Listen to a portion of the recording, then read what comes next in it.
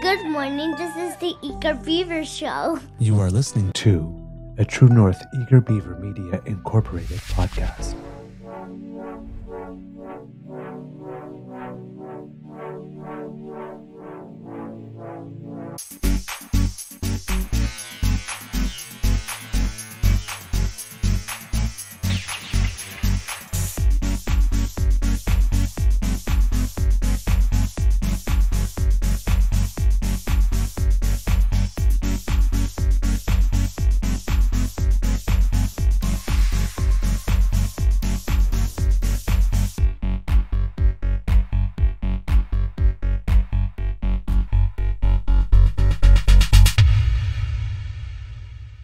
True North Eager Beaver podcasts are proudly brought to you by our founding sponsors The Misfit Mysteries from Corvid Moon Publishing, your source for science fiction, fantasy, and cozy mysteries featuring a broad diversity of characters. CanadianTarot.com, your uniquely Canadian online eclectic tarot community. And The Peppermaster, hot pepper sauces made from farm fresh ingredients to thrill your taste buds and expand your mind.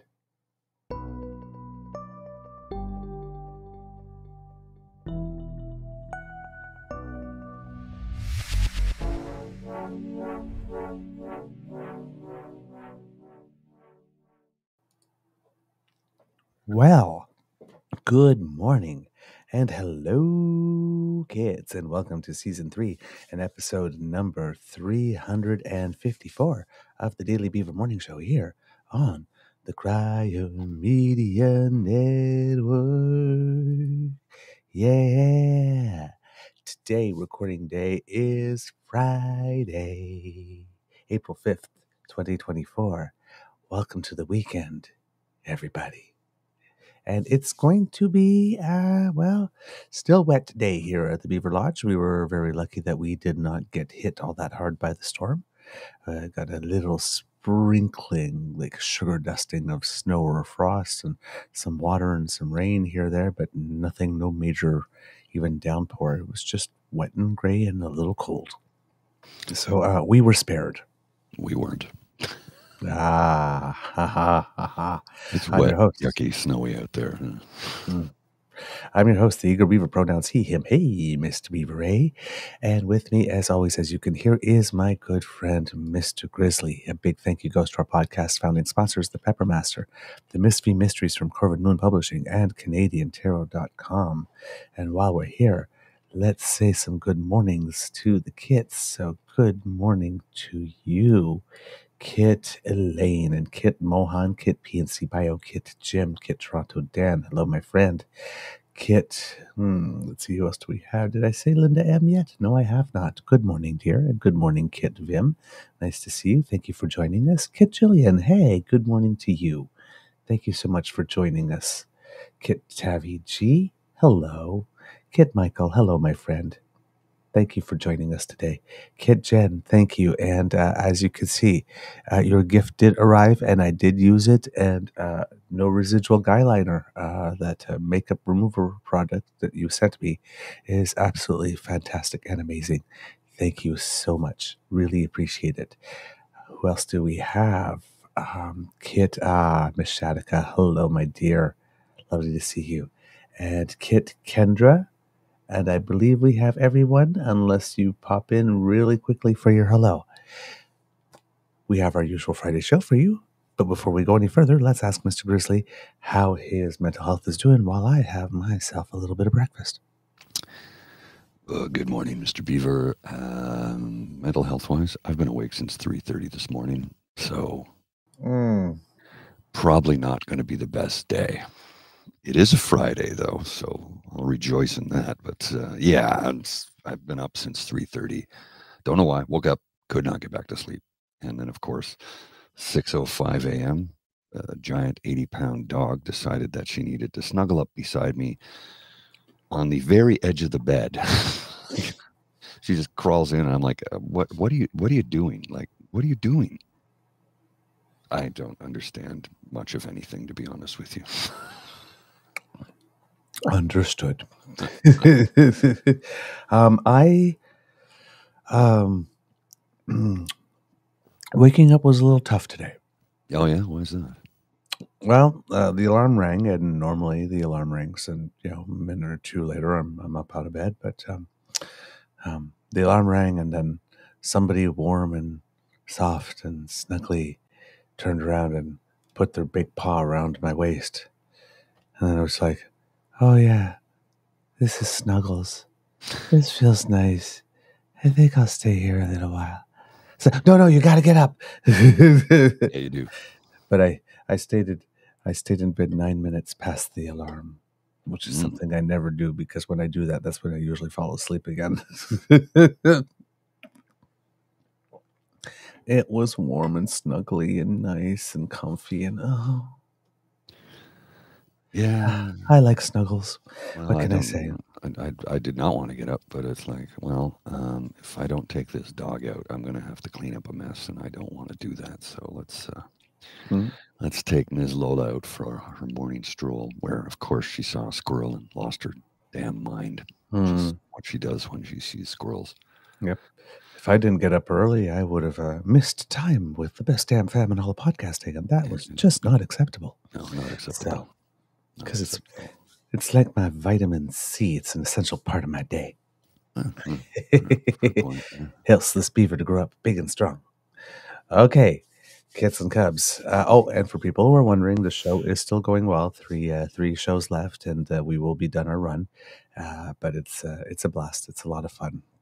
Uh, some uh, people from the curling club were there yesterday, so that was kind of nice. It's actually kind of weird. I've been at this curling club for I think about seven or eight years now, and uh, and I've been acting all this time, and I think this is the show I'm in that most more people from the curling club. I think more people from the curling club have come to see me in this show than have come to see me in all other shows combined. So, Wow. but it, it, it's kind of fun after the show, though, when you're you come out and you see people that you know, and you get a little that little pat on the back from people who know you. Just you know, it means a little something, gives a little warm fuzzy. So, yay! Mm, Um, but things are going very well. Uh, also, for people who are wondering, uh, we did uh, get the analysis, and yes, we do have asbestos. Uh, fortunately, it's just level one, so it'll be the least costly to uh, remove it and abate it. And uh, we have people coming in and giving us quotes, and yeah, it's going to increase the cost by at least a third. Is there any government program for that though? Because it is, uh, I, I will be calling my MP and my MPP to ask. yeah, yeah. There's got to be something in there. I, you know, I would assume. Yeah. Well, I mean, I you know, if wrong. this was if this was 15 or 20 years ago when it was like sort of like all the rage, Yes. I know for sure there probably would have been. Now I think it's pretty much uh, well, if you didn't do it in the last 20 years, too bad, so sad. You pay for it yourself. if you didn't bother to look under the hood.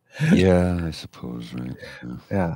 Uh, fortunately, it's not every wall. There's a couple walls that are not, so that will reduce the cost a little bit. But yeah, it's going to be a bit of a job. So uh, we're we're still looking at options because, uh, of course, in, uh, I'm not sure if that's true in the rest of Canada, but in Ontario, at least, if you know you have asbestos in your house, when you come to sell it, you have to actually declare it. Yes. And then some people may not want to buy it. Now, in this current market, when everybody wants a home, I don't think that's going to be too much of a problem. But because you know, so long as it's sealed in and all that kind of stuff, apparently it's fine. Yeah. If it, if you leave it undisturbed, it's okay. Yeah. So we're looking at various options, but I think I'm just going to prefer to just have it removed. And be safe and sorry because I don't know how you like pull all this uh, aluminum siding. uh, Well, I, I assume it's aluminum siding or plastic siding off, and then you know put on some stripping and then you know strapping. Sorry, and then put on uh, all the all the new one and little pieces of these these asbestos tiles or whatever it is they are don't flake off Yeah. here and there, right? So, um, yeah, I think we're probably going to have to have it uh, completely removed. So, yeah, the, the, that's a, a, bit of a financial ding, uh, sadly. Welcome to Um, home ownership. Yes, yes, the money pit I was told, uh, about which I was told, yes. But we like our little home, so and we're very comfy and we're very cozy here. So, I guess we'll give it a little love. Mm. Uh, so those are the two major things with me in the news.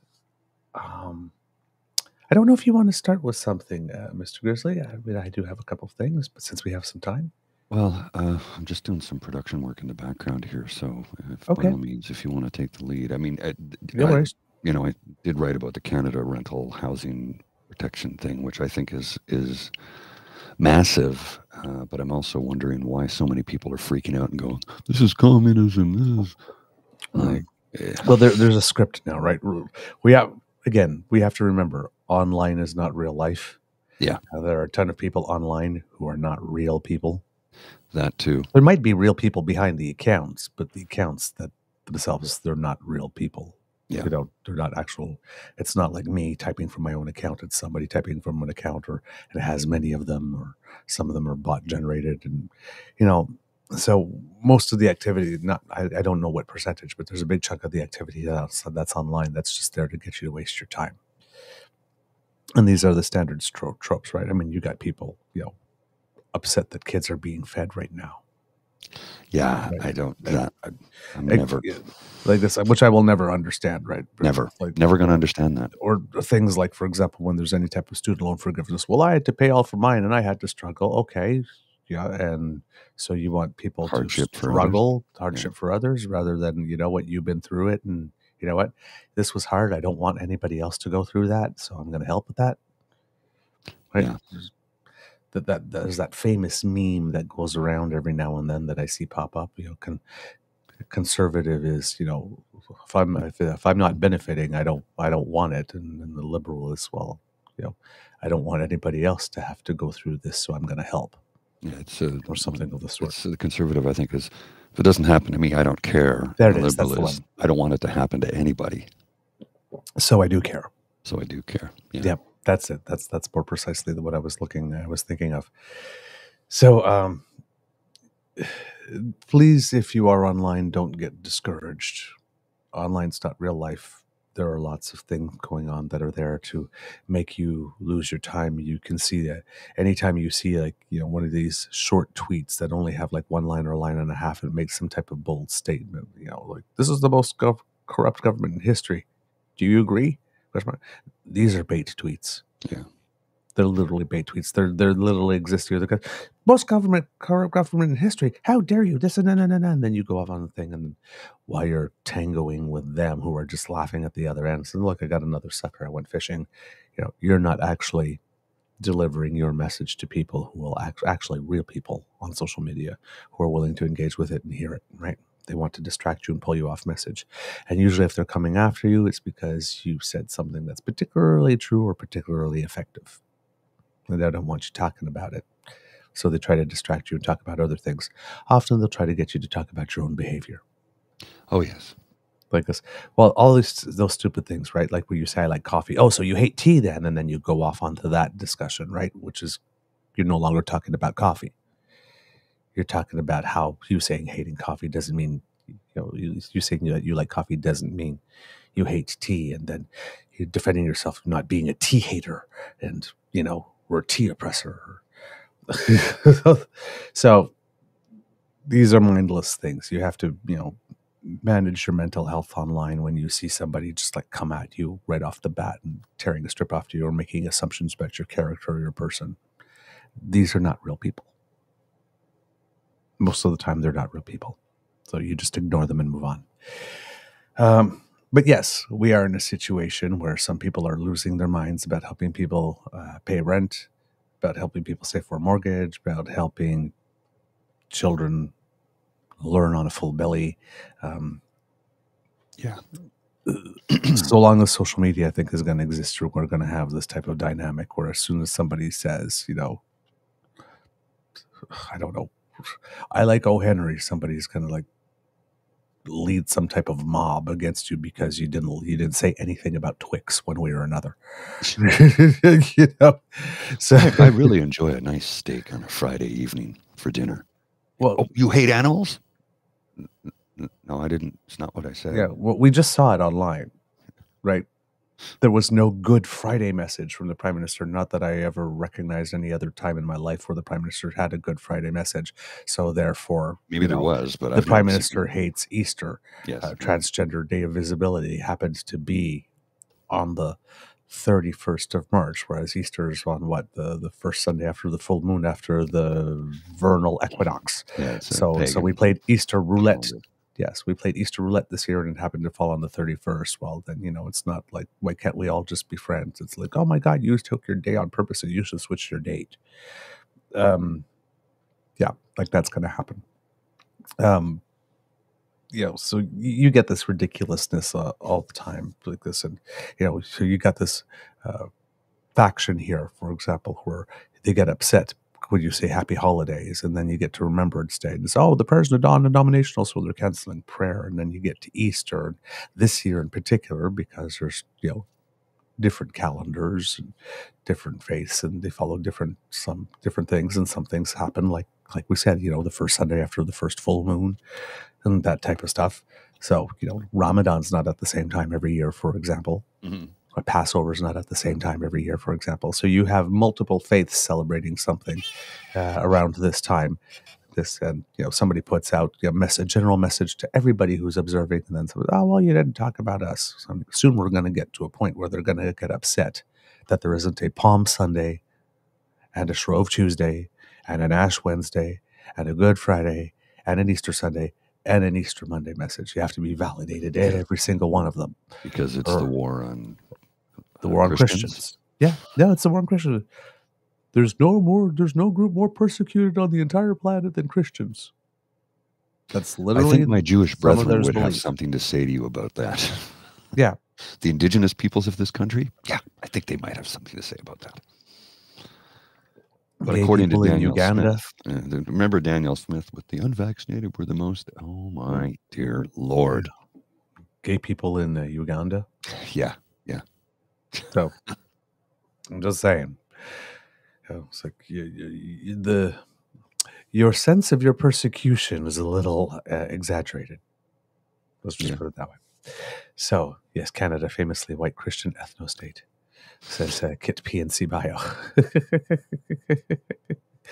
oh man, so yeah, you, the, this is going on, and um, I'm going to take some time to go into these announcements. I think because um, I haven't yet, as you know, I'm busy with the show, so my time's a little limited in the evenings on show days. But uh, this is like the fourth now measure, yes. like re- related to housing or or, or rental. Um, so this is uh, kind of important uh, you can tell that there's a theme. The prime minister was talking yesterday, and uh, um, it's very clear now that the theme of their budget is younger millennials mm. and younger people who have trouble, you know, saving for home, uh, finding work, uh, coming out of school, um, making ends meet, uh, you know, making sure that rent is covered and that type of stuff. So a lot of these announcements are ge- geared towards that demographic uh, in particular and it seems that it is a deliberate and a concerted strategy uh, with regard uh, to the prime minister here. But with these, because the first one was um, the first announcement was on renting, and then the last few days we've had some announcements on housing. A lot of them are loan guarantee type programs, um, and this one over here according to iPolitics, iPolitics is the federal budget will earmark $1.5 billion to help preserve and create affordable housing units. It's the latest in a series of pre-budget housing announcements by the Liberals, who have eschewed tradition, of course, by preemptively unveiling key planks of the spending plan. Um, the plan is called the Canada Rental Protection Fund, which would provide $1 billion in loans and $407 million, $470 million in contributions to nonprofit groups and other partners to allow them to acquire rental units and keep their prices down. Um, because, uh, yeah, if, you, if you've been a non for profit, your operating costs have gone up a lot for the last few years, and uh, the fundraising to support that, uh, maybe not as much. Mm. And it's hard to be a not profit doing some good work if you don't have a headquarters. That would uh, stand to reason, yes. Yes. Um, Prime Minister Trudeau said, unfortunately, too many affordable housing units are under constant threat of being demolished to build condos or sold to speculators and large corporations that will increase rents at turnover. People are being priced out of their communities, and that's not okay. So we have to help nonprofits and community partners acquire units and preserve rents at a stable level. Um, so the fund would allow nonprofits to purchase affordable rental buildings when they go for sale instead of having them sold to a speculator or corporation that will look to increase profits uh, prices to generate profit. And the fund is supposed to roll out later this year. Uh, the Prime Minister pointed out to BC's Rental Protection Fund as an example of his government's plan, saying both were designed to retain affordable housing being lost to rent hikes after they were purchased by investors. Um, Earlier this week, yeah, that's what we mentioned. Trudeau announced $15 billion top up to the federal apartment construction loan program and a new $6 billion Canada Housing Infrastructure Fund that would require provinces and municipalities to remove restrictive zoning rules. That's on top of a $400 million increase to the Housing Accelerator Fund, which provides money to municipalities that agree to zoning reforms and removing barriers to home construction, and that uh, $6 billion Canada Housing Infrastructure Fund. Uh, that's uh, very important because often municipalities want to open up a new development to a certain neighborhood, but the sewage or wastewater systems are not there to Right. support people living there. That particular fund, that particular $60 billion fund will go for that, those types of things. Things that need to do to get a neighborhood ready so that houses can be built and housing can be built on it uh, to help cities out. So the, they're thinking about this at every step of the process here. Uh, it's a, it seems to be a good, complete suite of packages. Um, so you could tell that uh, the federal government has put a lot of thought into this, which is uh, good. Good. According to the new report from the RBC, uh, they say it's the toughest time ever to afford a home, as rising interest costs are making it harder to cover the bills. It found that Canadians, uh, a Canadian making the median household income would need to spend 63.5% of their pay to cover the costs of owning an average home at market price. And I think the recommendation is that uh, that number is supposed to be about a third for a solid financial priming so that you're not mortgage poor, as they call it, uh, where you're living in your home, but all your disposable cash is going into just maintaining the home and you're not actually living. Mhm. Uh, you're living for your home for all intents and purposes. A lot of house poor individuals across Yeah. the country. Yeah. Bought more house than they could realistically afford and you know live will live well beyond their means. It's just not an uncommon thing. It's Mhm. been going on for the last 45 years, I think. Yeah. It, it used to be more common when we used to do less stringent um, uh, mortgage testing Right. than we do now. Since we had that crash in 2008, uh, the banks do uh, They got- called yeah. mortgage testing, where if you, you know, you're applying for a loan at the time that, uh, like I know when I was applying for mine, uh, you know, the rates were low, uh, but uh, they tested us at being able to pay a mortgage that I think was like three to four percent higher than what it was at the time to make sure that you know if something happened, we would, uh, well, um, that they, their investment also would be, you know, because un, unlike um, most people would want to believe, banks don't actually like repossessing your home No, they, that's the last thing they want to do, actually. because it's like a lot of extra work for them and they don't get everything back and whatnot. They would much rather do extend your amortization period or do something They will work with you. stay. because the last thing they want is to repossess a home. Like they really don't want to do it because it is um, not profitable for them. Cuts into the margin. They have to get somebody to come in and help auction it off or remortgage it or sell it or whatever. The, it's a losing endeavor for them, so they don't want to do it. They will work extra hard to make sure you stay in your home. I know that sounds crazy, but it's true. They Hmm. will do the extra thing, the, go the extra mile to make sure you stay in your home so that it's profitable for them. And it's not because they're doing it out of the goodness of their Nope. hearts. The bank is only interested in profiting for the bank. And They're not making friends; they only have interests. but that's the thing. You See, the bank will will do what they can to keep you in the house because it's cheaper for them in the long run and more profitable for them. Because if they can keep you on a on, okay, we'll just extend your mortgage by another five years or whatever the case is. They will do whatever they can to keep you in that home. Yeah. Because Once they repossess it, it's just a royal pain in the ass for them that they do not want. Mhm. And a lot of these loan programs are important because uh, you hear a lot of reports that over the last year, housing uh, slowed. The Federal Can- Canada Mortgage and Housing Corporation said in its Outlook report that it expects housing starts to drop in 2024 owing to supply challenges, quote, notably the lagged effects of higher interest rates. Um, when interest rates shoot up like they did, uh, 10, I think, uh, basis points increases over a, short period of time, I think within a year. Um, some companies don't start building projects because the loans that they have to take out in order to get them off the ground, especially big apartment buildings, Mhm. um, they decided that they don't want to take on that cost. So a lot of these uh, loan funds that the federal government is uh, creating also address that. They allow these developers to get these loans that they would normally get for banks, but at a lower co- interest rate cost, which gives them incentive to actually take on the large development projects. Um, and uh, that's going to get a help, uh, a boost as well later this year when uh, the Bank of Canada starts um, lowering interest rates.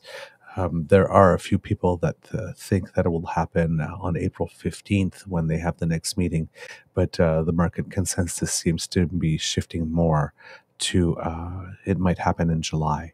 it might even come one month later because the overall consensus seemed to be in June might be the first one.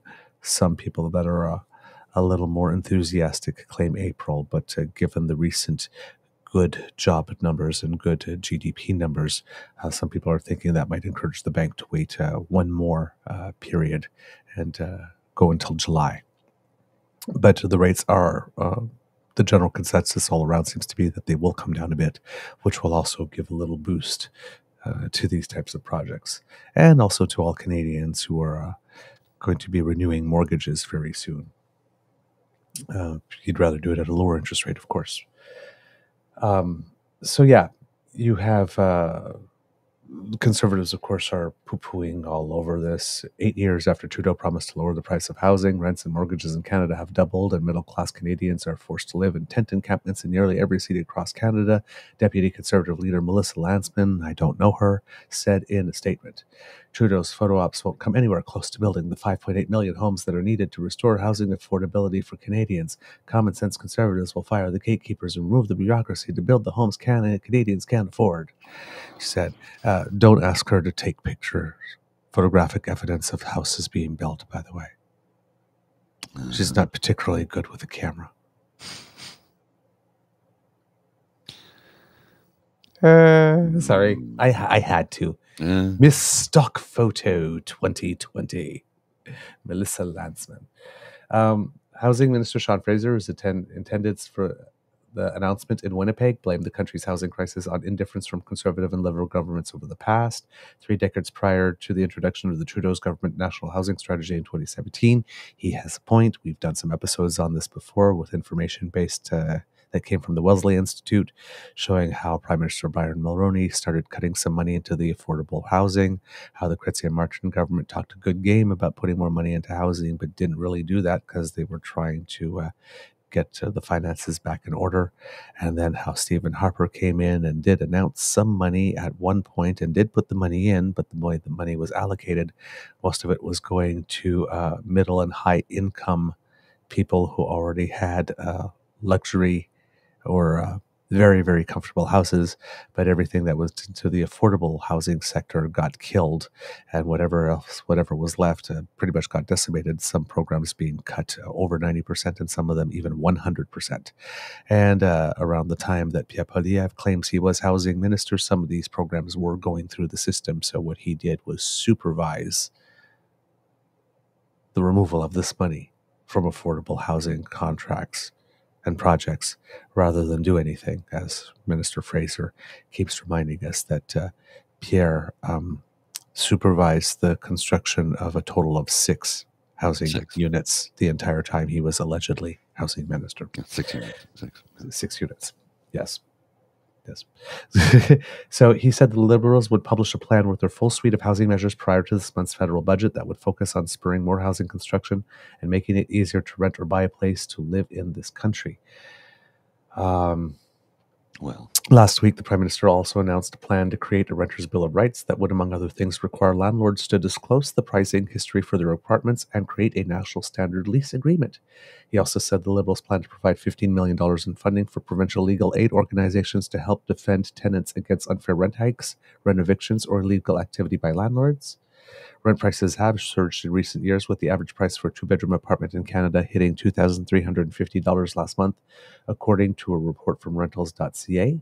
The report says that rents in Canada have increased overall by a total of 21% or $384 per month from two years ago, just before the start of the interest rate hikes by the Bank of Canada. And of course, the budget will be tabled on the 16th of April. Um, let's let's stick with the budget here for a second. I got something for you from Deloitte. You know Deloitte, the accounting firm. Yes, yes.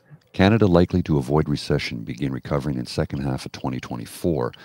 Canada looks set to dodge a recession despite the ongoing downward pressure from higher interest rates, Deloitte Canada said in its economic outlook report. So, of course, that's uh, after eight years of Justin Trudeau, still no recession. That's after a world pandemic and two wars. The past conservative government ran back to back recessions without a world pandemic. Harper started out with a liberal surplus. Conservatives are not better with money. Proof is in the pudding right there. Yep. I'm like, what can you say? It's mind blowing. But again, it's like we said at the end of last year when we were doing our year end retrospectives that one of the most underreported stories was the macroeconomic miracle here in Canada. That we got through all of that. Four years of Trump trying to kneecap us, two years of China trying to kneecap us, and then the global pandemic. When they're still coming out, coming out of it with a soft landing and no recession. Only one quarter that had a little bit economic quarter that had a little bit of contraction, and even that one, I'm not sure if that got revised ultimately at the end once uh, the numbers came around. But uh, I saw another report the other day uh, insisting that we did uh, indeed have at least one quarter of a very mild contraction. Um, and yesterday, as we uh, showed uh, with the former parliamentary budget officer, Kevin Page, stating that there is no economic crisis. Like there really isn't. Not only comparing us to like right where we are looking at the numbers right now, but comparing us to where we have been historically like where we were around the time uh, Chrétien Martin decided that they needed to pull back on the reins, and also comparing us to near peer countries and OECD countries. Because we are actually doing very well. That, that doesn't mean that every single person individually, on their kitchen table budget, is doing well. But as a nation itself, we say that they're, they're driving us into the poorhouse or they're going to destroy the economy. Like that that's one of the things with the food program right it says well. Yeah i guess after you deliberately try to destroy the economy so that people don't have any money i guess you do have to feed them. It's like no he actually removed half a million kids off the poverty rolls right. way before any of this took place. So long, you know, long and, before the pandemic delivered the middle uh, the middle class tax cut in his first term, and then the changes to the national child uh, program, child benefits, not the national child benefit, uh, can, can, can, Canada Child Benefit, sorry, program that would leave even more money, and then keeping people whole during COVID with the $2,000 CERB, which is way more than uh, welfare or disability supports offers people. And then just there's been a whole suite of measures.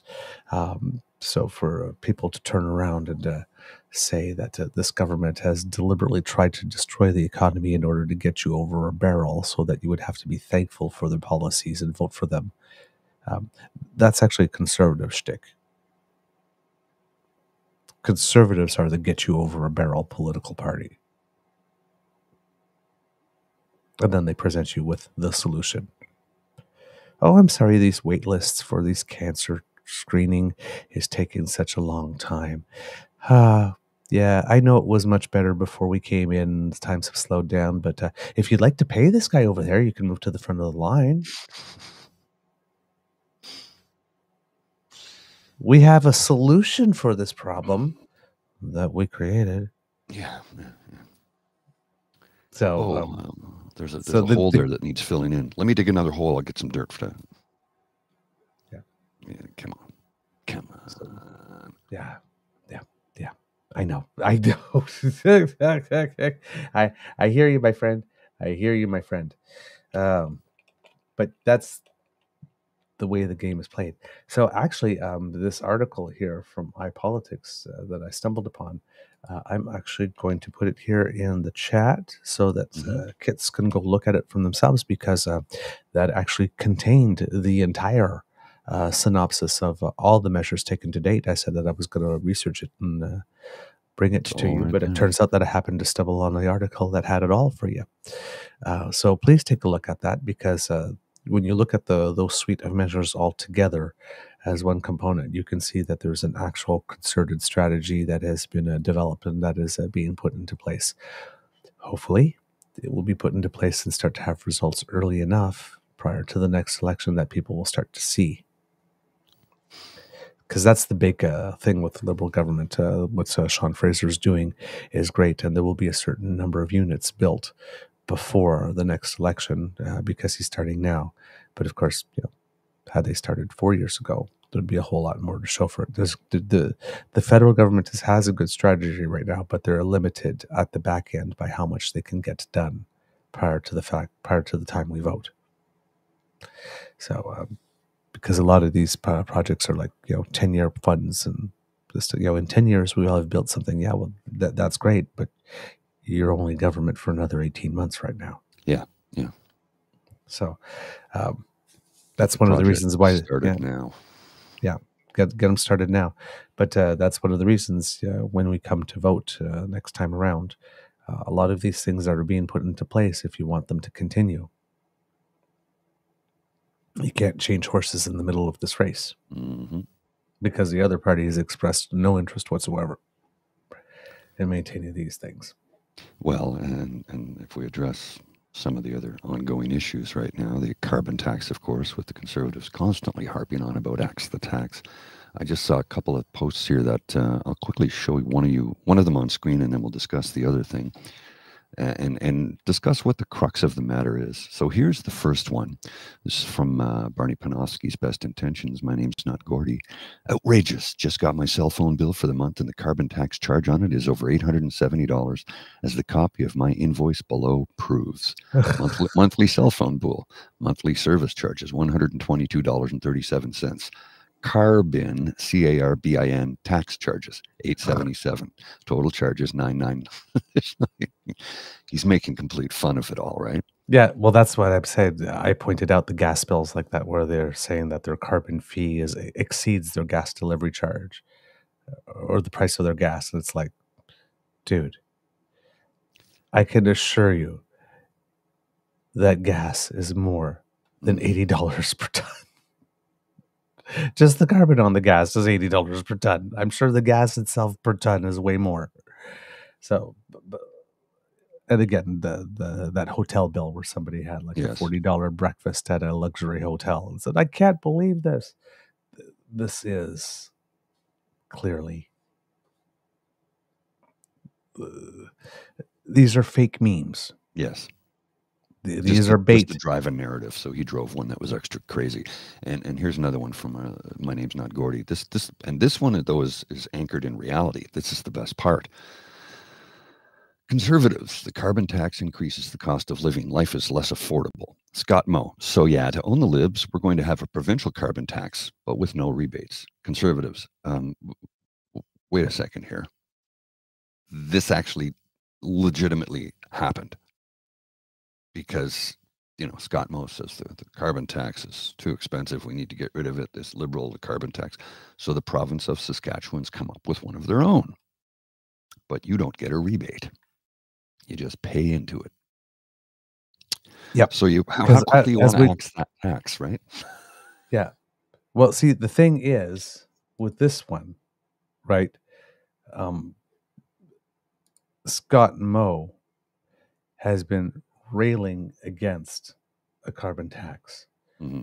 for the longest time. Yeah. Right. He even like said we just showed him you know demanding time at parliamentary committees and actually going to a parliamentary committee and making the claim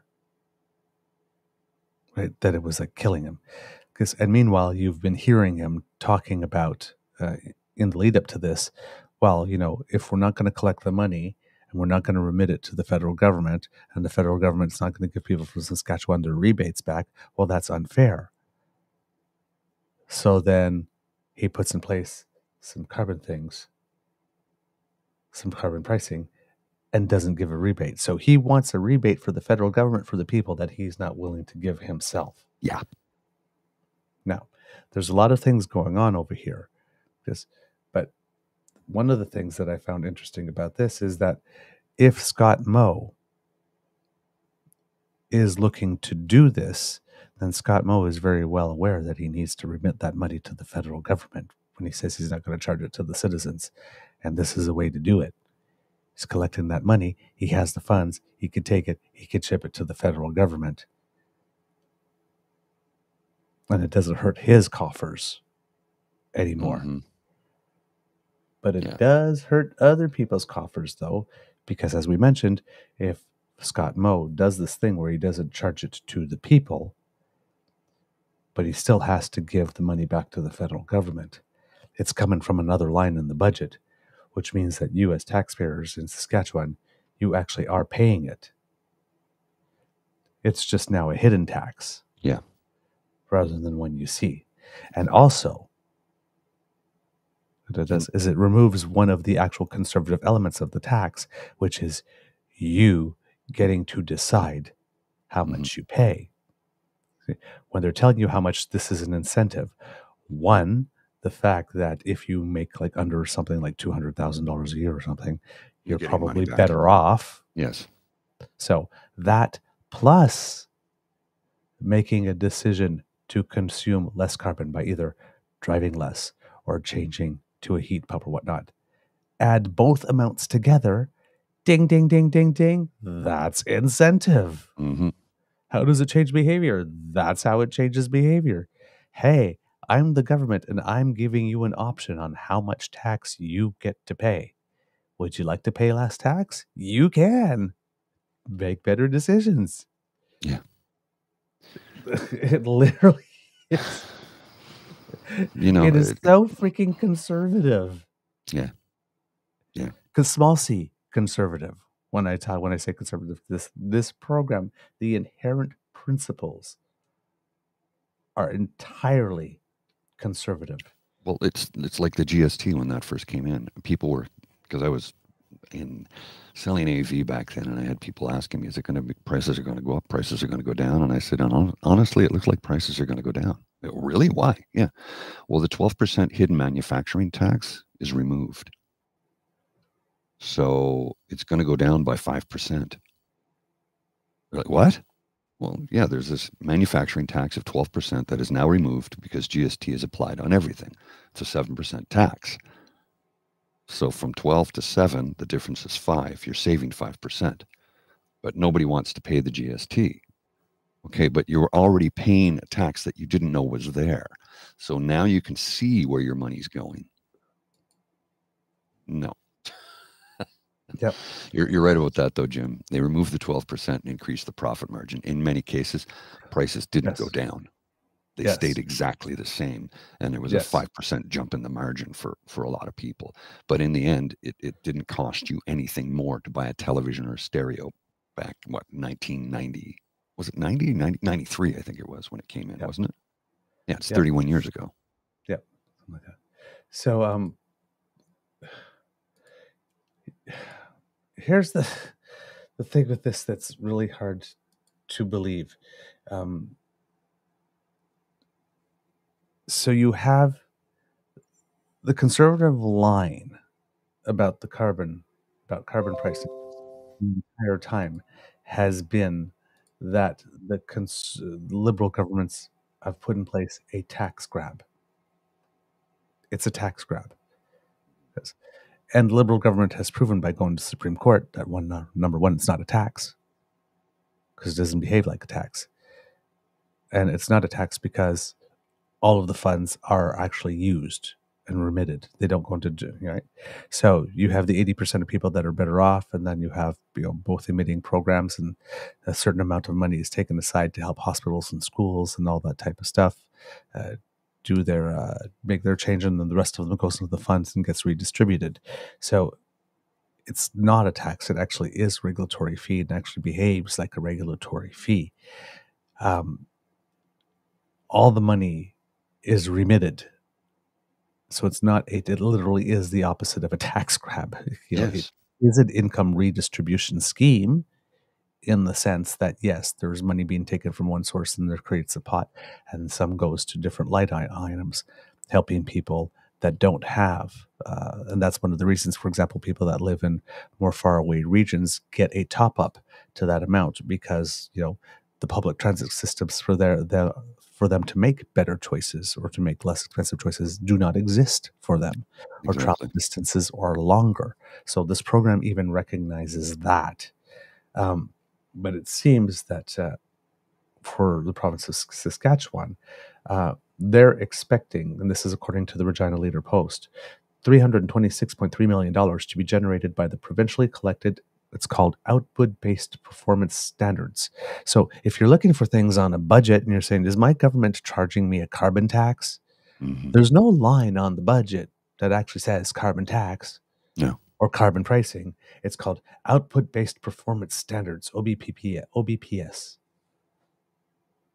that's what you need to find. Talk about a way of keeping it hidden from you.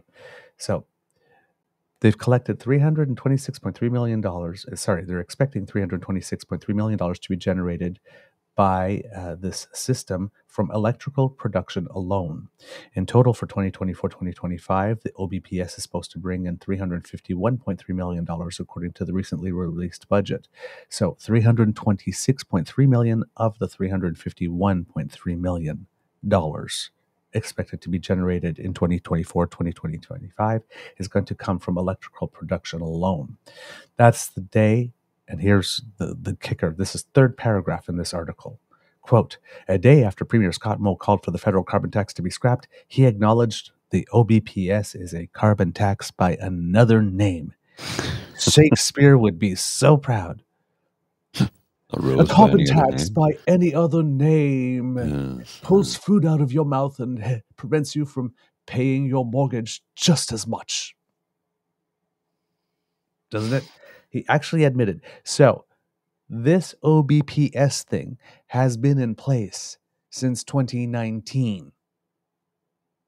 Scott Moe has been collecting a carbon tax on Saskatchewan residents since 2019 That's five and years. not giving folks. them a remate That's five we found years. out.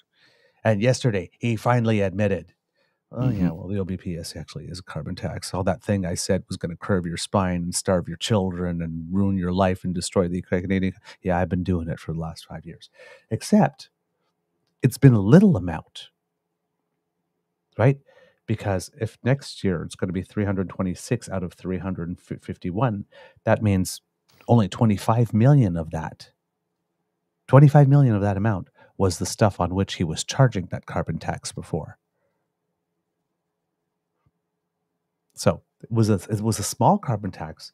It wasn't applying to a lot of things, but there was one, and it was bringing in about twenty five million dollars. Now he's going to have three hundred twenty six million come in. Why does he need that much more money all of a sudden coming into the OBPS? Maybe because he doesn't want to go to jail. So he needs a fund of money to be able to remit all that money he was collecting before. So this is just a sleight of hand that's going on here. Quote Moe. It is a carbon tax, but what we would say is remove it. It needs to be removed. Changing who's charging, it doesn't help a thing. Um, dude, it's your tax. It was created in 2019. You were premier there. What do you mean? It's like, it needs to be removed. You're the one who put it there. Number Mm. one. And then you grew it. Yeah. and now you're sitting in front of a camera going, it needs to be removed, changing who's charging. You're the one who's charging. Yeah, that thing I did that I tried to pretend that I didn't do that I hid from you when it cost you more money. I'm, At the same time, the province wants to improve the electrical grid while getting into new means of power generation with the money collected from OBPS, which is earmarked to go towards the province's pursuit of small modular nuclear reactions. So it's a fund that they have plans to reinvest the money in to technologies that would be a little greener. Which is the exact same thing the Climate Fund federally is doing.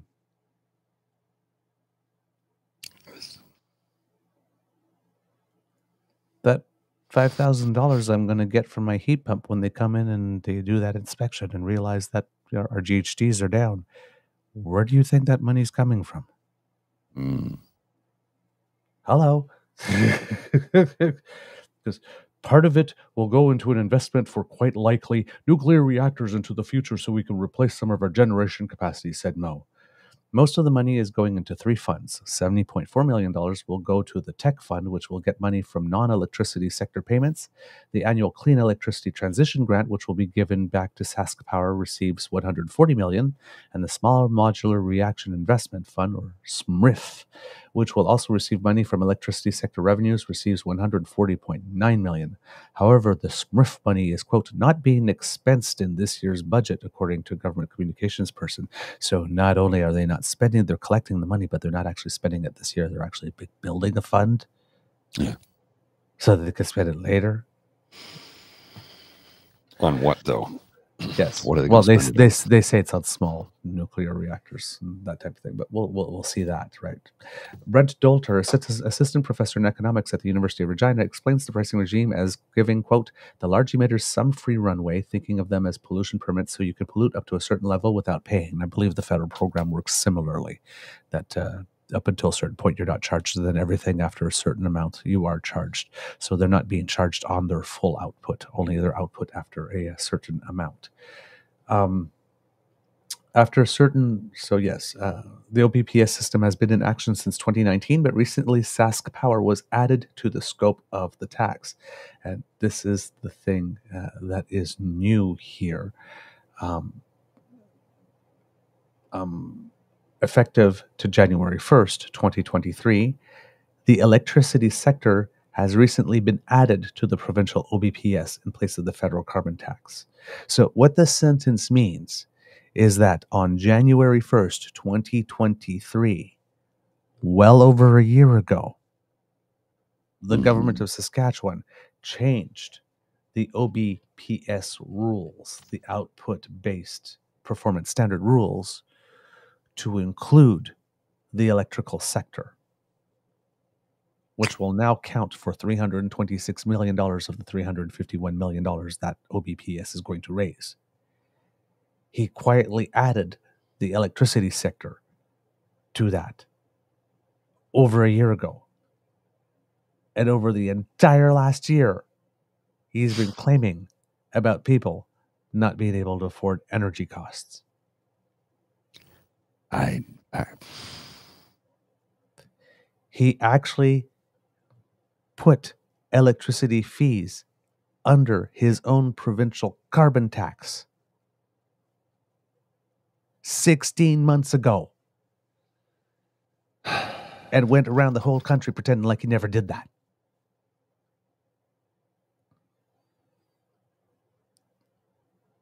Uh, I need a coffee. You're getting screwed, Saskatchewan. You're getting screwed.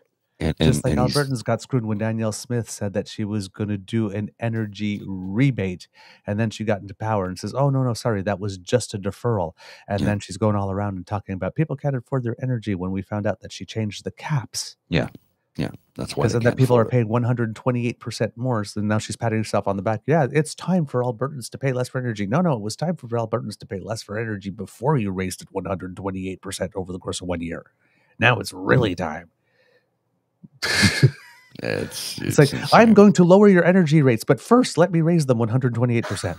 It's okay. Don't worry about it. It'll look good when I take that money. You know, when when I reduce them, it'll look great. But wait a minute, I'm still paying more no matter what. And meanwhile, in Saskatchewan, the carbon tax is terrible. That's why I'm going to charge you a carbon tax on your electricity. Yeah. The federal government is horrible for making you pay carbon tax on your electricity. That should be my job. Well, the prime minister agrees. That's why the program was designed with, hey, you know what? If you want to do it made in your province so that the money stays in your province and you get to control what you do with the money. But more and more and more, we are getting the message, and it's becoming very clear that conservatives have no problem with carbon taxation. No, no, no, no. They just have a problem with you getting the rebate. This was never, ever, ever about affordability Oh, for God, these no. premiers. It was about control. Mhm. Same thing with the housing money. Okay, well, we're going to go directly to municipalities. No, not like that. The money has to come through us. This is the exact same thing How dare you be giving rebates directly back to the people? That money should be coming to us. Well, yes, the federal the federal government agreed. That's why they asked you to make your own made in pro- province solution. Quebecers don't receive a rebate. No. British Columbians do, but that's because their provincial system has decided that they would do that. But there's no rebate to Quebecers under the cap and trade program, Nope. And we had a program here in Ontario. With the and there was no rebate to us either, and it was that. canceled. and it was canceled. So, I I don't know, man. I don't know, but yeah. So yeah, Scott Moe actually uh, believes in carbon taxes. Um, Yeah, Province- He just doesn't want rebates, and and he has to own the libs. Yep, indeed, indeed. Uh, the budget, and here's the other thing about keeping it hidden: the budget was the first time OBPS payments were displayed or noticed noted as a line item, despite existing since 2019. So they've had it hidden for five years. Yeah. You know, when I mentioned that you have to look for OBPS on the budget Mhm. line item, Yeah. 2019, 2020, 2021, 2022, you couldn't find it. It wasn't there. It only started appearing in 2023. Funny how that works out, huh? And then they didn't list it as carbon, they listed it as OBPS, hoping you wouldn't notice. Of course.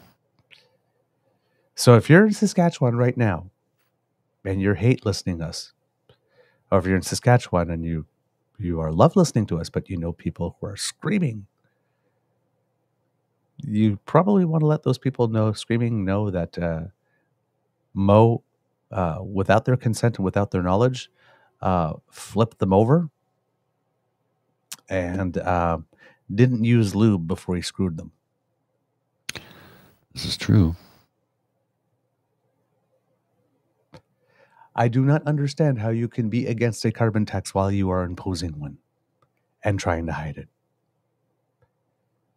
Yeah. This man is dishonest. To say the least. He's inherently dishonest. This budget, so that was the first time it appeared. Let's see what else. The province explained that the OBPS system is a means to reduce greenhouse gas emissions from large scale polluters while maintaining economic competitiveness. It also aims to minimize the risk of missing out on green and sustainable technology investment and development to other jurisdictions. Hello, carbon tariffs. They're literally at all the things that we've been saying for years. They're admitting them. We've looked at other ways, but it was too costly. Yes, because carbon pricing is the least effective, is the sorry, the most effective and least costly way. It is an inherently conservative way of doing it that creates the least amount of bureaucracy. We've been saying that for years. Yeah. There is no better way. And then you admitted it on the stand. And then we said, you need to take care of your own stuff when you're talking about like wanting to reduce global emissions and helping people in Iran and all those other places reduce how much they, they generate and getting credit for it rather than doing something over here. No, you have to reduce them over here or else you're going to have trouble selling your product. hmm This you are going to have trouble inter- attracting international investment. These are all things that we've been talking about for years, and they kept on saying, no, no, no, no, no. Well, it turns out, yes, yes, yes, yes. And they know it's true because they're making little decisions quietly to adapt those. So while they're screaming, no, no, no, they're actually doing so. I guess the upside is that they actually are doing some of the work. They just don't want the credit for it. it's just no Wow. votes in it. I guess I mean if you're looking for a silver lining, they are doing some of the work and are recognizing and but this is how you know that they do know that this work needs to be done. and Mhm. That this is all posing and preening and posturing. But they are still doing the work because they know down the line not being able to export that damn potash in the first place is going to be a way more of a political ball and chain around the ankle Oh, yeah. carbon pricing for them. Um, quote, Ultimately, we need to drive the emissions out of that sector in a responsible way. And so we're going to run the life cycle out of the assets that we have, but need to prepare for the significant investments that are coming, said Moe. So basically, the stuff that we have, we want to run them into the ground, which I can understand. hmm You put a lot of money in it.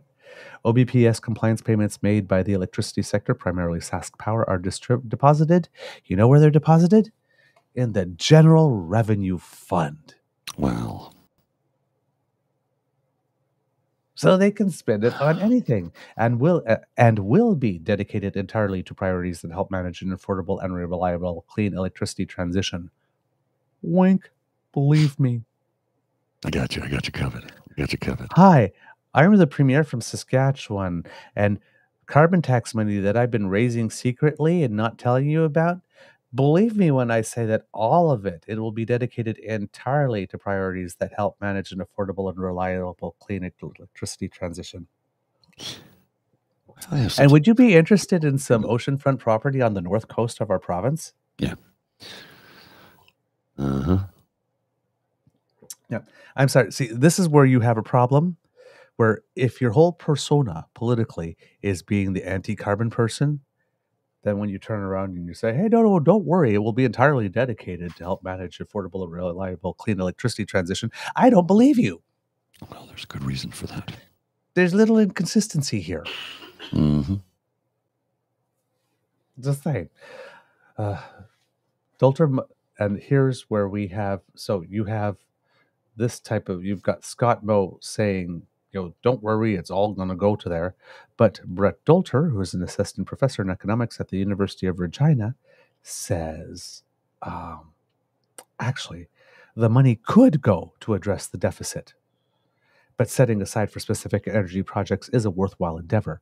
A government spokesperson said the OBPS money did technically offset the deficit, especially the that money that uh, was taken from the fund that was supposed to be directed to uh, small nuclear reactors, but is not going to be expensed in the coming year. Mm.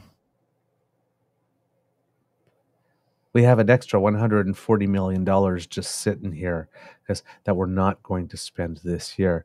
But, you know, should our budget make a shortfall of $100,000, well, that 100 or $100 million, that 140 million is on the books. So it looks like we uh, balanced our budget and had a little surplus going into an election year. The guy's as dishonest as the day is long, man. uh, quote, it helps keep electricity rates lower than they would otherwise be as we move to a net zero grid by 2050. Lower income households benefit when electricity rates are kept lower because they spend a larger portion of their incomes on electricity bills, said Dolter. The Minister of Environment, Christine Tell, speaking Tuesday, said the whole OBPS system is a way to, quote, to help industry and help the people of the province also. Tell says she hopes through the industrial emitters contributing to the tech fund, it's all about technology. Her hope is the fund will be used to, quote, to hopefully create technology that reduces our emissions. So again, I want you to listen to that sentence. It's all about technology.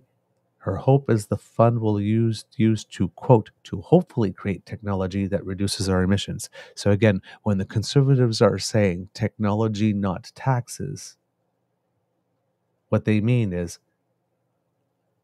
technology that we hope will come along to reduce our emissions, not taxes. Because the technology isn't actually there yet. It doesn't exist. It hasn't been upscaled and it is not deployable on a large scale. and we don't know if it ever will be. They've been working to try and come up with small nuclear reactors for decades. It's not there. Technology that I'm crossing my fingers may come around one day so that I don't actually have to make a tough decision and do the work. I gotta grab a coffee. I'll be right back. Yep. So there you go. Conservatives love carbon taxes. They're the ones that brought the idea to us originally. Stephen Harper had announced one that was going to be put into place the provincial government in British Columbia at the time, which identified under the Liberal banner but was really a conservative government, brought the first one in all across the country. And now it seems that even Premier Scott Moe thinks the idea is so good that he had one going on for five years already.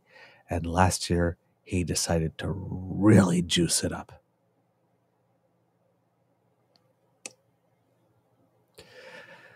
Ah, man. These people.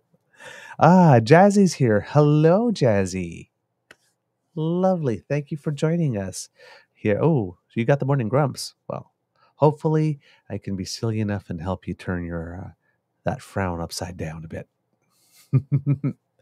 it's Friday. You got a weekend coming. I hope you have some great plans. so, ooh,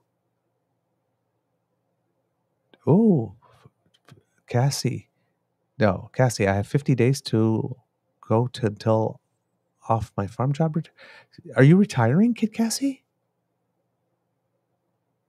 If so, uh, congratulations and uh, well earned indeed. So, yeah. So we have some housing stuff. We have carbon stuff for you. Um, a little hypocrisy along the way uh, on the carbon stuff, and uh, some good things on the housing uh, front. Um, other things uh, that are happening um, at the moment is, um, uh, I guess we should talk a little bit about. Uh, I'm trying to think here. I don't know if I want to go into Israel right now because um, we have for the time being. I, well, there there have some been, been some really really big developments. However, mm. um, yeah, let's try this here. Um, so Jacob Flickinger, uh, the Canadian who passed away, mm-hmm. uh, turns out was also a former member of the Canadian Forces. He was a retired Master Corporal, and he left behind a wife and an 18 month old son.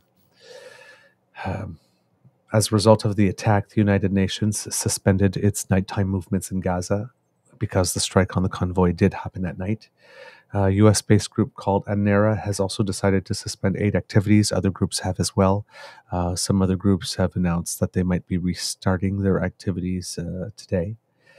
Um, in addition to the 42 million meals that uh, Central World Kitchen, uh, World Central Kitchen, sorry, has delivered in Gaza, it has also delivered 1.75 million meals in Israel itself. Um, and uh, it's not like just one side has been attacking uh, World Central Kitchen. Uh, Hamas has held members uh, of the organization for questioning uh, during the conflict uh, on a couple of occasions as well. Um, when President Joe Biden says that this is not a standalone incident, he is correct. The UK based group, Medical Aid for Palestinians, chimed in a couple of days ago saying that they had uh, uh, encountered um, a situation in which an Israeli missile hit a staff housing complex, even after the military told them that they were in a safe zone. Um, the reason why the claims from Israel that uh, this was an error uh, are less and less believable, believable. Uh, stem from the fact that the three car convoy had pre cleared its route and shared right. its movements with Israel's military. So the founder of World Central Kitchen, Jose Andres, says that he's skeptical of Israel's claims that the attack was uh, unintentional. Quote, he says, What I know is that we were targeted deliberately, nonstop, until everybody was dead in this convoy. Uh, Israel has offered a blanket apology for the deaths and said that a new command center to deal with the aid is coming. Uh, the meeting with officials from Israel and officials from Washington, D.C., that had been canceled by Prime Minister Benjamin Netanyahu in protest um, had uh, happened by Zoom. Uh, or at least uh, by online call. I don't know if it was Zoom specifically, uh, but uh, it did take place. It was roughly two and a half hours long. It was described as constructive and productive. With follow up talks having been agreed to, and some of them may actually be taking place in person. It seems that uh, the Netanyahu administration was presented with a menu of options, and that which appealed to them most was a proposal that would help them disrupt the leadership of Hamas uh, by either capturing or removing, uh, which is means assassinating them when they talk about removing, uh, in the form of a targeted air campaign combined with realignment operations. Um, there was also uh, a couple of days ago an Iranian diplomatic outpost that was hit, and uh, a lot of uh, people in Iran suspect that it is the government of Israel that has done this. And uh, the United States has done something a little interesting in that uh, it has indicated with much greater clarity than it usually does to the government of Iran that they had nothing to do with hitting that diplomatic outpost. It wasn't just a, like we didn't do it. It was like there with like proof and that type of stuff. So uh, there is a massive effort uh, again to try to contain the skirmish or just uh, the battles or the fights to one region and not to get other players involved in it. And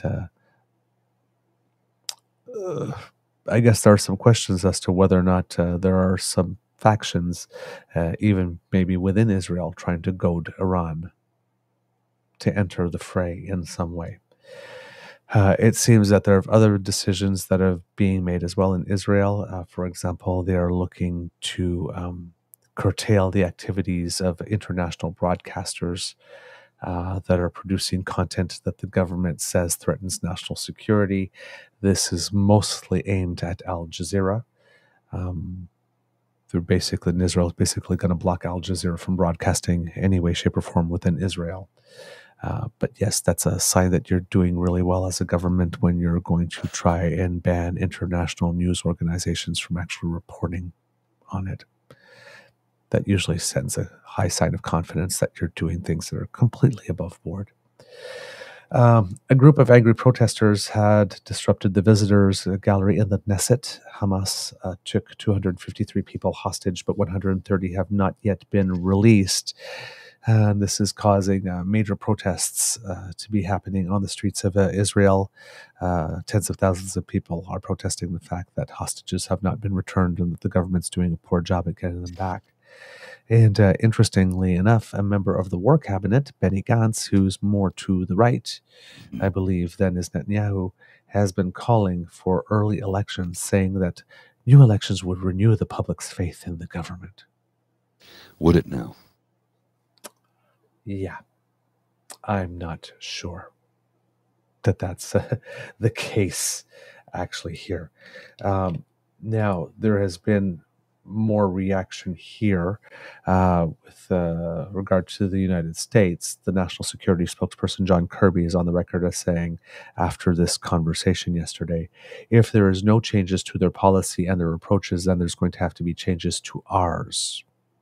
Uh, that meeting with officials was followed by a 30 minute phone call between President Biden and Prime Minister Netanyahu, where they contact, talked to each other directly and uh, said, uh, uh President Biden made it very clear that new concrete and specific measures to get food to starving Palestinians in Gaza, to reduce civilian bloodshed, and protect aid workers are expected within hours and days. Israel's military seems to have gotten the message because they've announced that they will be opening up a few more corridors to get aid into Gaza, and that that will happen very soon. Uh, with regard to our prime minister, because there is a, a Canadian American citizen said Jacob Flickinger, and we talked about earlier when we started this section, who has died, um, is not having it. He is quoted as saying, I have to directly take issue with what Prime Minister Netanyahu said yesterday when he said, well, this is just happens in conflicts and in wartime. Uh, no. It doesn't just happen, and it shouldn't just happen. When you have aid workers for an extraordinary organization like World Central Kitchen risking their lives every day in an incredibly dangerous place to deliver food to people who are experiencing the horrific humanitarian catastrophe, that is not okay that they get hit by targeted missiles like this. Is calling for an open and independent invest investigation into what happened. So those are the latest developments uh, on that front. Um,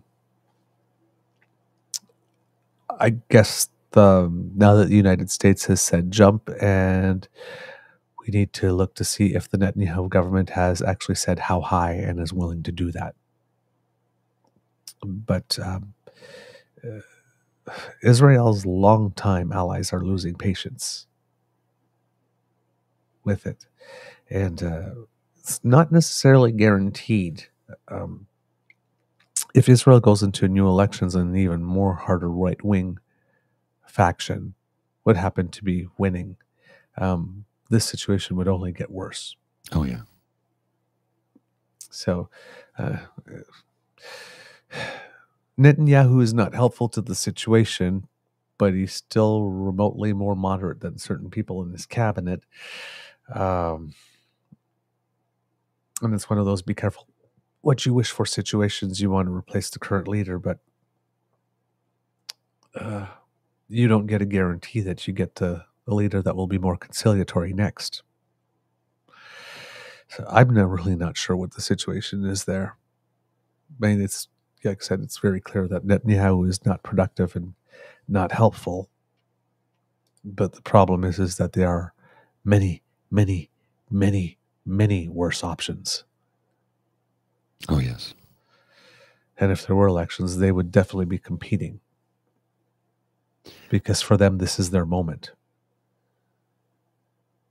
If they wanted to rid Palestine of Palestinians, this is their moment. They're running their end game now.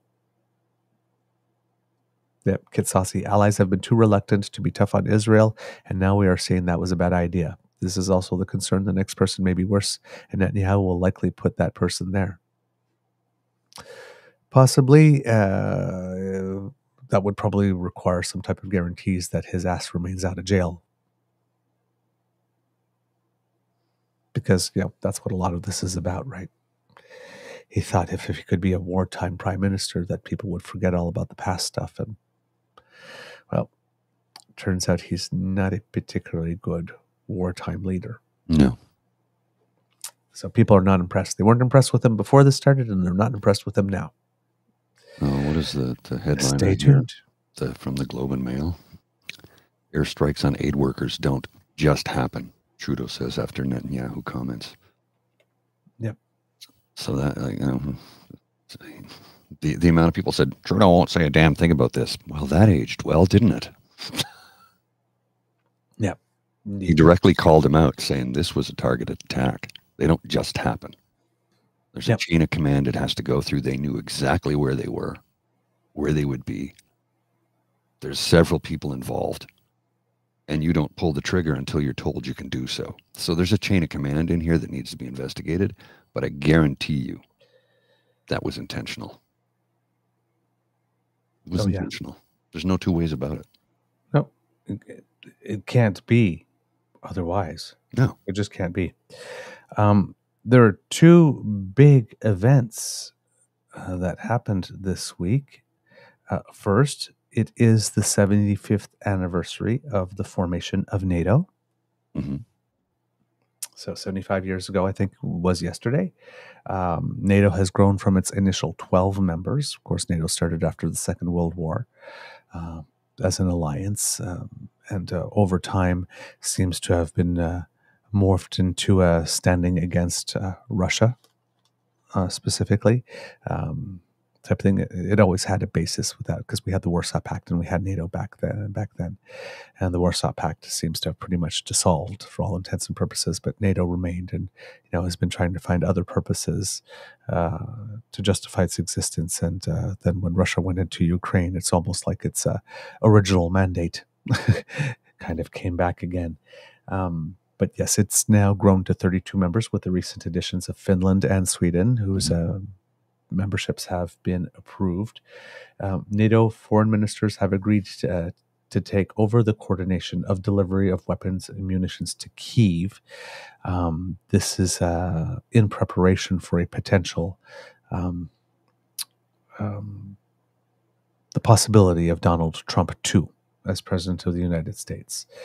Um, of course, uh, the U.S. president at the time that uh, NATO was formed was uh, Harry Truman, Mhm. and the goal has been to get uh, countries to spend two percent of their GDP Uh, on defense, at the present moment, Canada spends 1.38%, which is higher than it was under Harper, but uh, very close, uh, uh, very far still from 2%. Yes. We actually have two things like that.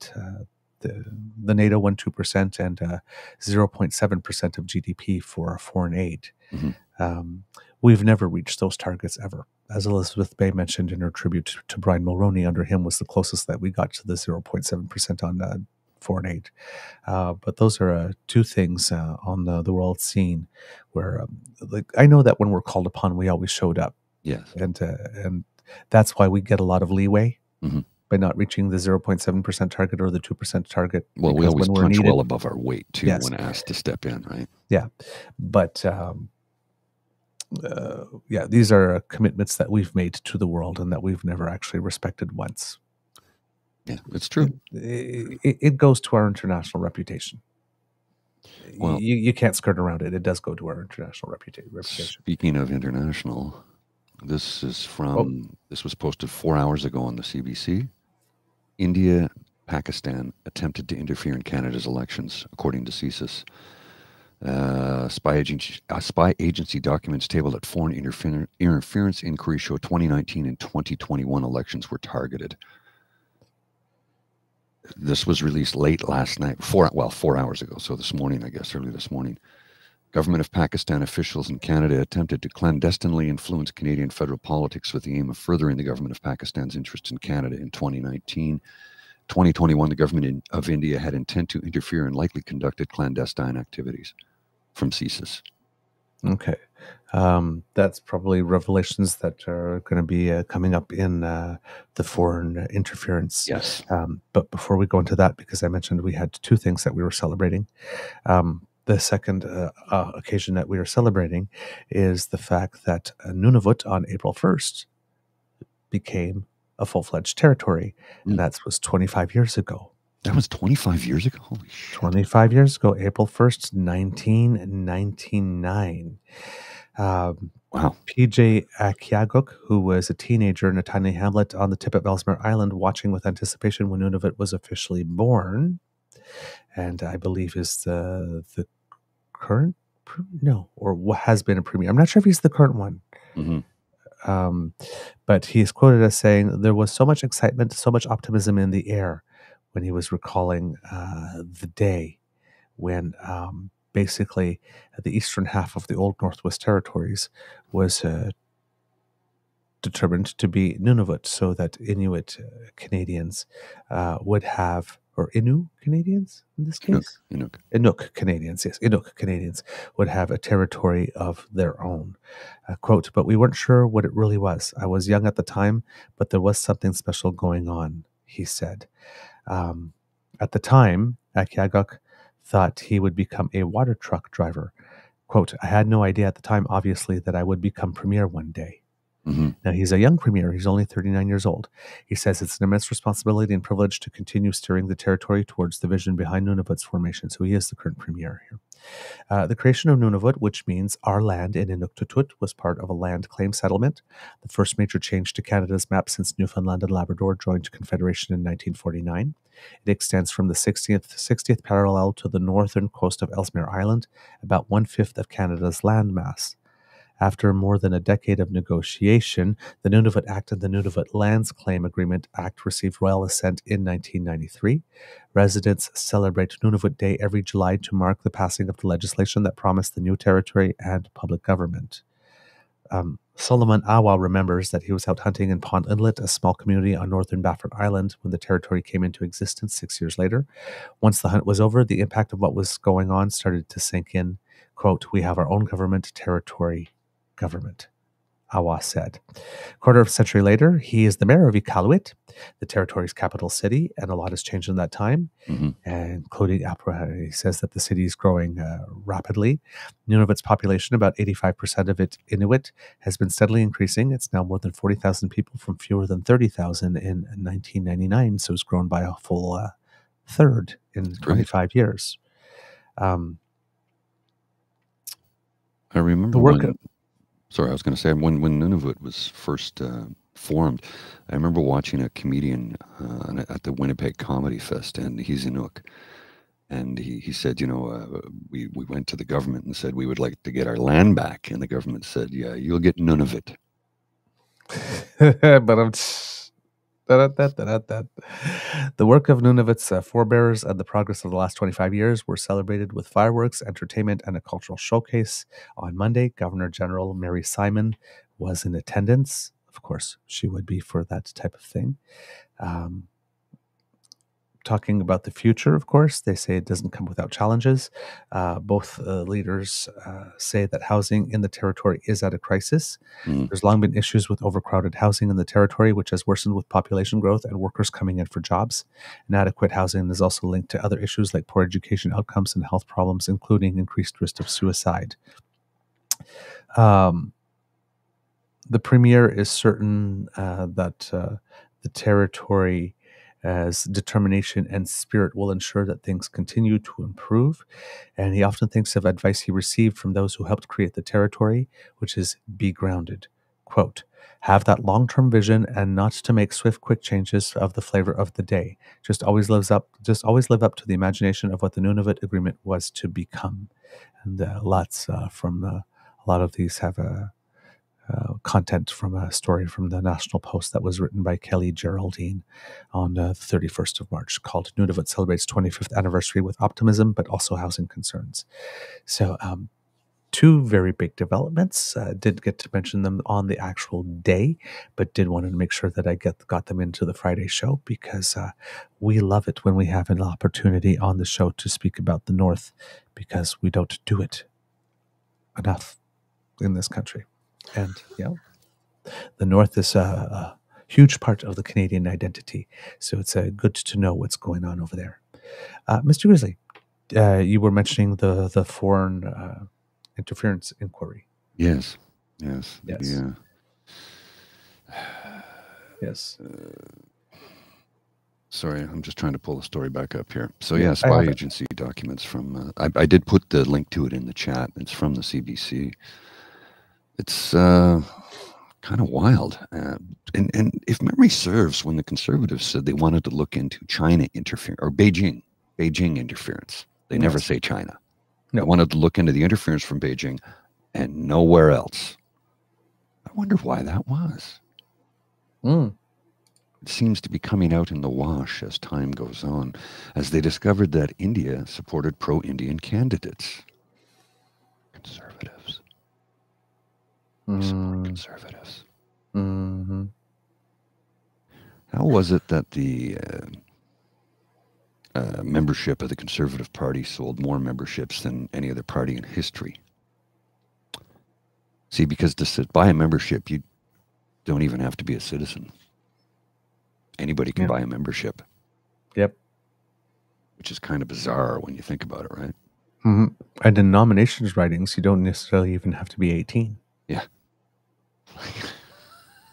I found that out last this last week uh, through this inquiry inquiry actually. Um, Han Dong, who you Mhm. remember, was the Liberal MP who has a left caucus who had been accused of uh, various things, They destroyed his Um, life. destroyed his life. He testified at the public inquiry into election interference. He had stepped down as a member of the Liberal caucus following accusations in the press that he had connections to Beijing and that he tried to convince Beijing not to free detainees Michael Spavor and Michael Kovrig. Dong has denied these allegations and has taken legal action against the original source of the story, which was Global News. Uh, but he testified at the committee that in 2019, when he was fighting for the Liberal nomination in Don Valley North, that Chinese students from a private high school came to cast ballots, and these are students that he had solicited. Unlike general elections, rules for who can vote and in party nominations are different. The Liberals allow both minors and foreign nationals to vote in party nominations so long as they reside in the riding in question. Hmm. That's a little interesting. Campaign directors for the for the three major political parties all testified that the threat detection and warning mechanisms set up by Canada's spy agency and the federal government were inadequate and frustrating. The information received was neither useful nor actionable. That's something that we've heard many times before. Um, former Conservative Party of Canada leader Erin O'Toole then testified before the committee, and he testified that he was aware of attempts of foreign interference by China, and it claimed he claims it cost the party six to nine seats, which would not have been enough to change the overall result of the election. But O'Toole suggested it might have been enough for him to have kept his job. hmm No, Interesting. no, Erin, no. You lost your job because you flip flopped back and forth like a trout in a canoe. And your own party took you out. Yeah. Uh, six to nine more seats in the election would not have No. helped you, my, my friend. But but nice try. Um, O'Toole um, he says he regrets not having mentioned it at the time, but he was attempting to avoid any suggestion that he was echoing voices in the U.S. arguing that Canada's election had somehow been stolen or rigged. I can see that. I don't know if that's an after the fact dis- uh, justification, but I, I will be generous and give benefit of the doubt and assume that that, that could be a legitimate uh, situation at the time. I can understand where someone who has lost an election is trying to look for the reasons other than themselves for why they may have lost an election, said Prime Minister Justin Trudeau. Ooh, the shade. This I'm surprised he didn't have a nail file while he was saying that. So, well, I can understand where someone who lost an election is trying to look for reasons other than themselves for which they might have lost the election. Just saying. Security officials and independent public servants have already confirmed that attempted foreign interference did not change the outcome in any single electoral district in the 2019 or 2021 elections, but that did not stop Erin O'Toole from taking the stand and saying that in 69 ridings, he believes that was indeed the case. Han Dong testified. Uh, sorry. So yeah, uh, and then I believe uh, there were there was more testimony.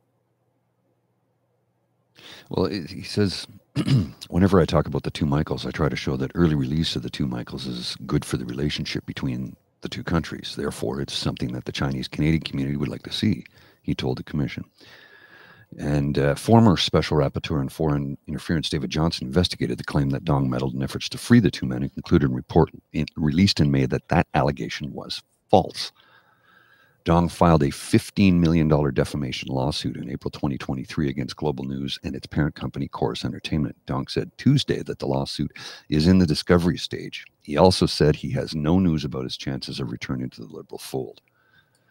Johnston did conclude that there were irregularities observed with Dong's nomination for the federal Liberals in 2019 and cited what he called a well grounded suspicion that the irregularities were tied to the Pe- People's Republic of China, or PRC, consulate in Toronto, with whom Mr. Dong maintains relationships. In reviewing the intel, I did not find evidence that Mr. Dong was aware of the irregularities or the PRC consulate's potential involvement in his nomination, the report said.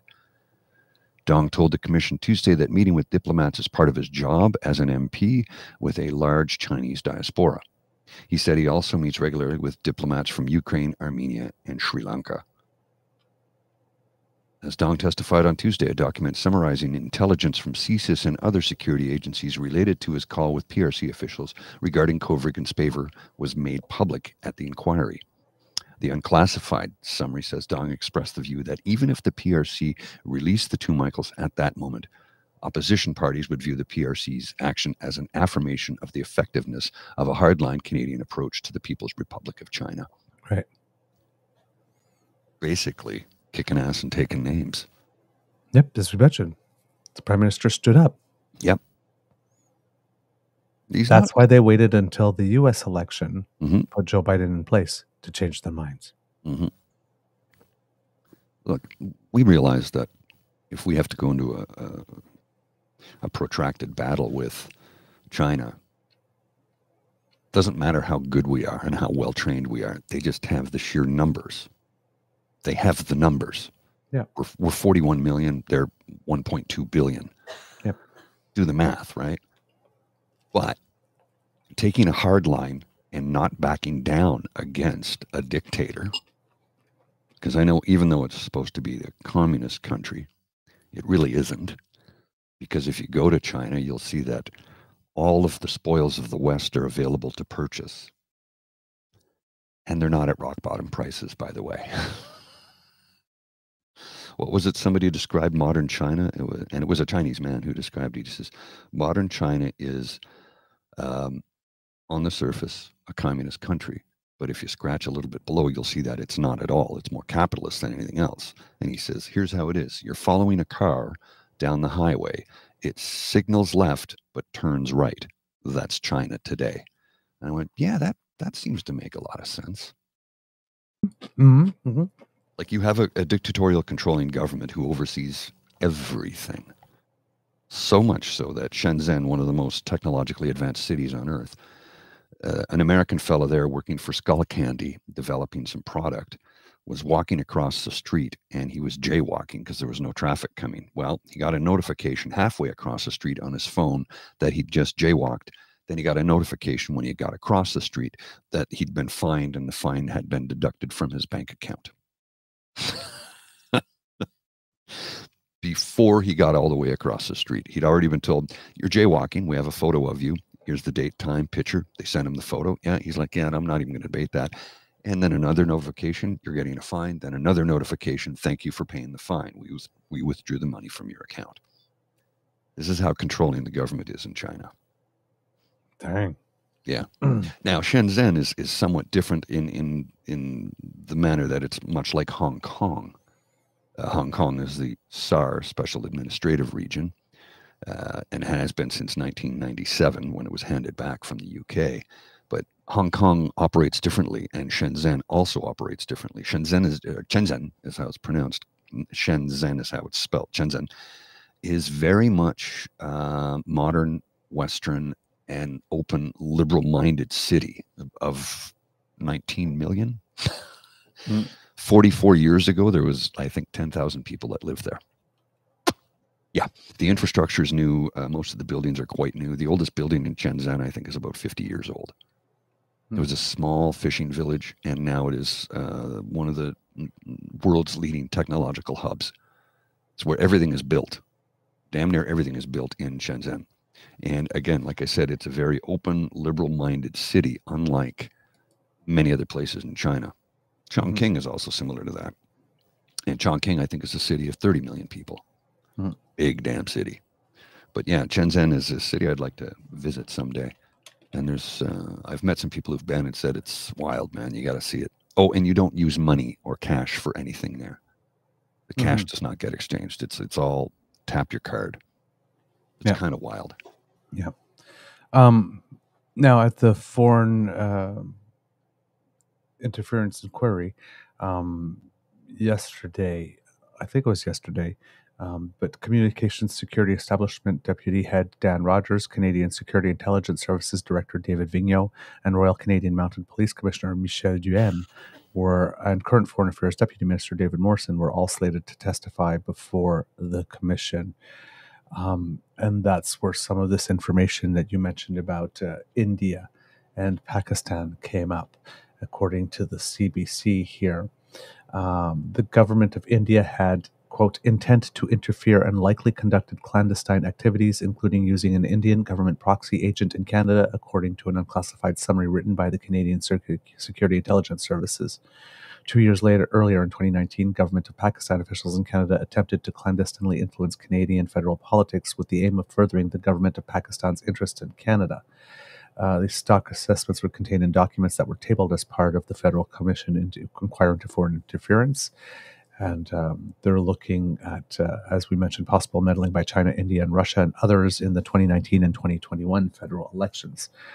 The reports all bear notes of caution about the summaries being possibly uncorroborated, single sourced, or incomplete. CSIS Director David Vigneault told the public inquiry that intelligence is not necessarily fact, something that we've mentioned on the show many times, and uh, uh it may require further investigation.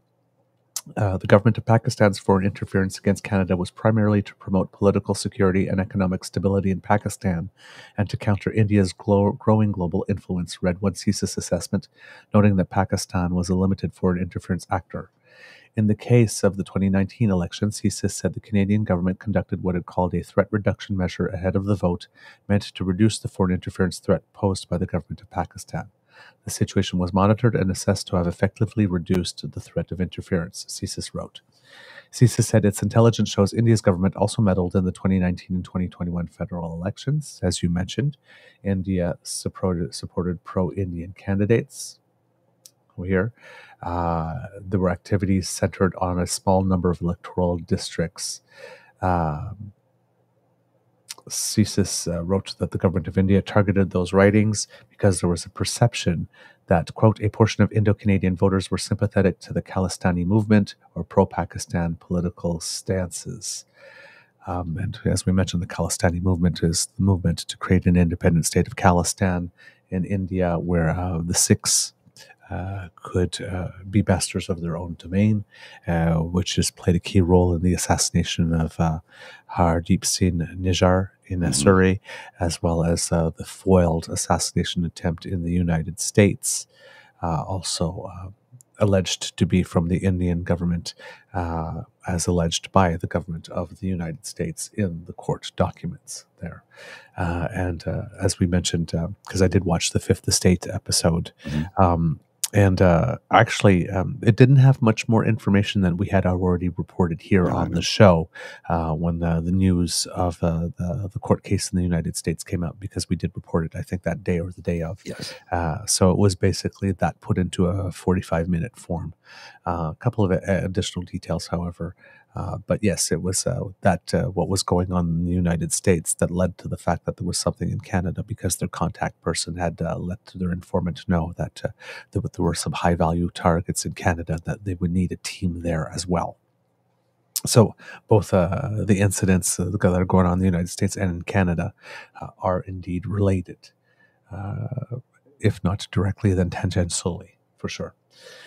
Um, CSIS uh, summary goes on to say that it has amassed a body of intelligence that indicates the government of India proxy agent may have attempted to interfere in democratic processes by providing illegal financial support to pro Indian candidates. Any such financial contribution could have been remained unknown to the candidate, CSIS said. It does not identify the specific ridings in the report that may have been subject to India's meddling. Uh, CSIS describes the proxy agent as, quote, a specific individual takes explicit and or implicit direction from a foreign state while obfuscating the link between influence activities and a foreign state. Um, proxy, eh, proxy agents are based in Canada and don't necessarily have to belong to a specific diaspora community, CSIS explains, and, quote, are witting participants in furthering the objective of the foreign state in specific circumstances. The documents are a series of unclassified summaries of intelligence primarily authored by CSIS with, quote, input and agreement from the Communication Security Establishment, Canada's other spy agency which focuses on electronic surveillance, Global Affairs Canada, the Privy Council Office, the Royal Canadian Mounted Police, and Public Safety Canada. Pakistan and India have not been the focus of testimony during this phase of the inquiry. Uh, the proceedings have largely been geared towards alleged foreign interference by China, but two South Asian countries have come up in other documents tabled at the inquiry. A public summary of a classified CSIS briefing provided to political parties dated June 2019 lists India and Pakistan among other state actors that could engage in meddling with Canada. Uh, redacting a word that appears right before the word Pakistani in a sentence, the briefing goes on to say, quote, Pakistani officials in Canada have likely tried to clandestinely influence and support Canadian politicians of Pakistani descent with the aim of furthering Pakistani interests in Canada. Three of the five paragraphs about India in that briefing note are largely redacted, but it notes, quote, Indian officials have utilized a network of contacts which includes politicians, academics, business persons, media personalities, and community leaders to monitor Canada-based individuals that are of interest to the government of India. CSIS also wrote that it's observed that there have been Indian interference activities targeted at Canadian members of parliament, provincial legislative members, outside the scope of regular diplomatic norms. In July 2021, Security Intelligence Threats Elections to Elections SITE Task Force, a Canadian government body consisting of senior civil servants from the RCMP, CSIS Global Affairs, and the CSE, held a briefing to political parties about lessons learned from the 2019 election. A lot of uh, MPs that got that briefing said it was basically useless and had no actionable information for them. It was uh, just so high level that they couldn't really do anything with it. Um, the document had a section about Pakistan, which was completely redacted, so not much helpful there.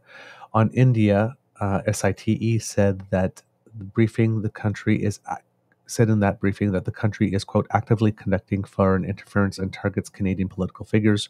Working through Indian officials in Canada, India engages in a range of activities that seek to influence Canadian communities and politicians in order to advance its political interests. India is interested in engaging its diaspora in Canada to shape political outcomes in its favor. Um, so, you know, hardly an earth-shattering revelation here, but that's why they're uh, saying that the the action is uh, that the information is rather unactionable because they're not exactly saying how, who, when, why, mm-hmm. just that they want to and they have an interest and they think it would be in their interest to do so, which is, you know, I mean, everybody else could kind of figure that out sitting at home. Um, so yes, unless there's more detailed information or specific information about plots or initiatives, there's not much uh, politicians can do with that type of warning. No. But it's interesting to see uh, uh, this testimony uh, come out and that we're hearing about it. And uh, it's also nice to see that uh, um, that this inquiry's mandate has uh, gone beyond just China yes. and just two elections. Well, as it should be, because let's face it. Um, well, you either care about the issue about intellectual interference, foreign interference in our political system, or not. It's one of the other. Right. So if you only care about it only in China and you only care about it in those two election cycles and not any others, then you don't really care about the issue. You care about specifically China for some other issue that you're trying to get to.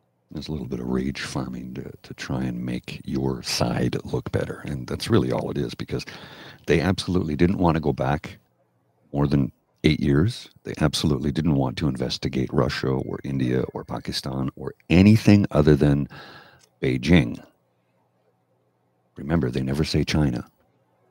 The conservatives never say China, they say Beijing. Because if they say China, then, then that's going to enrage the nation, number one. And number two, they signed the FIPA agreement in secret, which ties us to China for what, 30 more years or 20 more years or whatever the hell it is? It was 31 in total when it started. And when was that? 2014 that it started? 2014 or uh, 2015? so there's about 20 years left, yeah. approximately. 20 or 21 years left. I'm not even sure. It Might be 20 years. Came into force in 2014, so it's been 10 years already. So 21 years left.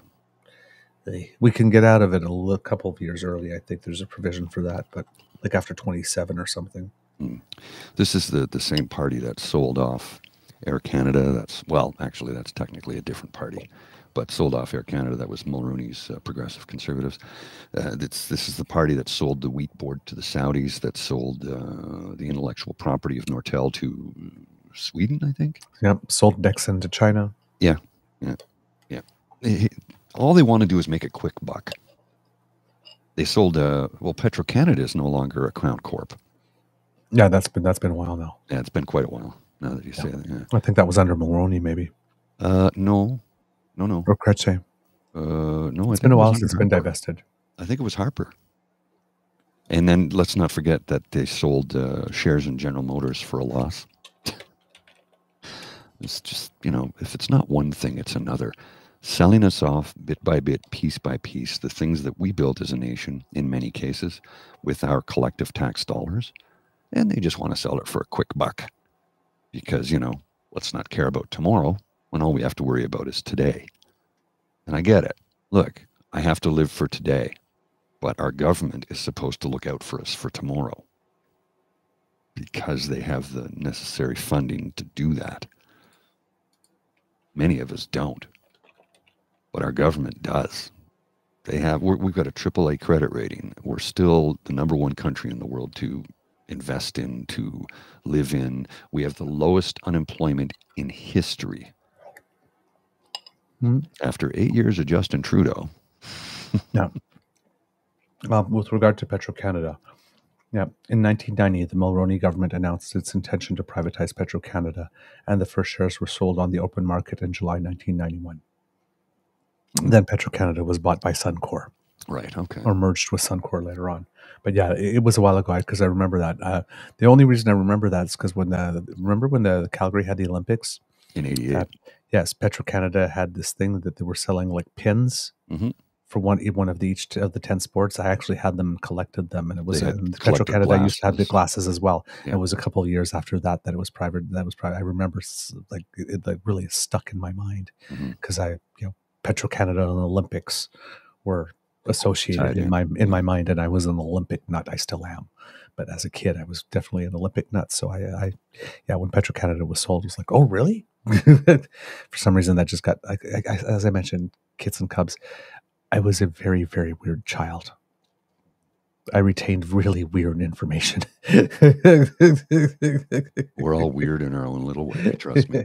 indeed, indeed, we are. Um, all right. Sorry, I have a little something stuck in my throat here. Um, if you are in Alberta, uh, the first NDP Alberta leadership debate will take place in Lethbridge on April 25th of the month. Sorry, I've got You're gonna something in my live there? You need you need uh, you need a moment. You gotta you want to take a beat. You want to take a nap. Maybe lie down for a few minutes, have a cup of coffee, and maybe a, Oh. A cigarette. I don't know. I'm just I'm just love to lie down for a couple of minutes. Uh, sorry about that, Kids and Cups. So the, the first debate of the Alberta NDP leadership race will take place in Lethbridge on April 25th. April 22nd is the last day to buy your memberships. Um, some things that may have happened or influenced some of the decisions. It would appear that uh, word got out that uh, Naheed Nenshi had doubled the party's membership in just a few days after announcing his run, which may have been one of the things that convinced uh, uh, Rakhi Pancholi to suspend her own campaign and uh, instead work for his. Um, there was some speculation at the time that if Pancholi would have joined anyone, it might have been uh, Kathleen Ganley, who had uh, registered uh, to run as well.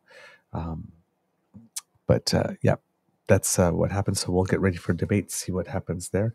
But it seems that it's uh, membership sales uh, that people have been openly uh, bragging about, and it's similar to what Pierre Poilievre did in the the federal leadership when he was bragging about his membership sales really early to try to paint himself as inevitable and get uh, the other uh, candidates to possibly drop out of the race. Um, I'm not saying that, and she did that with that with that intent, but you know when you when you double the size of your party's membership in a few days after you announce that you're running, it's typically it's pretty much over. if that is indeed true. Here's So a- uh, Just I just saw something here from uh, this just released. Uh, employment uh, labor force survey March 2024. Unemployment is at 6.1 percent. It went up. yes, just yep, came across five point eight, I believe. Yeah, this is from StatsCan. I'll put it in the, the link in the chat if anybody wants to have a look at it. It's it's pretty detailed. A lot of analysis, a lot of data there. If you want to read about it, it explains how it comes up with this. Unemployment rate rises to 6.1 percent. So yeah, Yep, um, that's uh, a lot of uh, companies have been announcing layoffs and cuts Yes. uh, lately, and uh, I believe the United States report was uh, scheduled to come in uh, as well. Uh, I believe that the United States was looking at uh, two hundred thousand um, jobs. At least that was uh, some 303.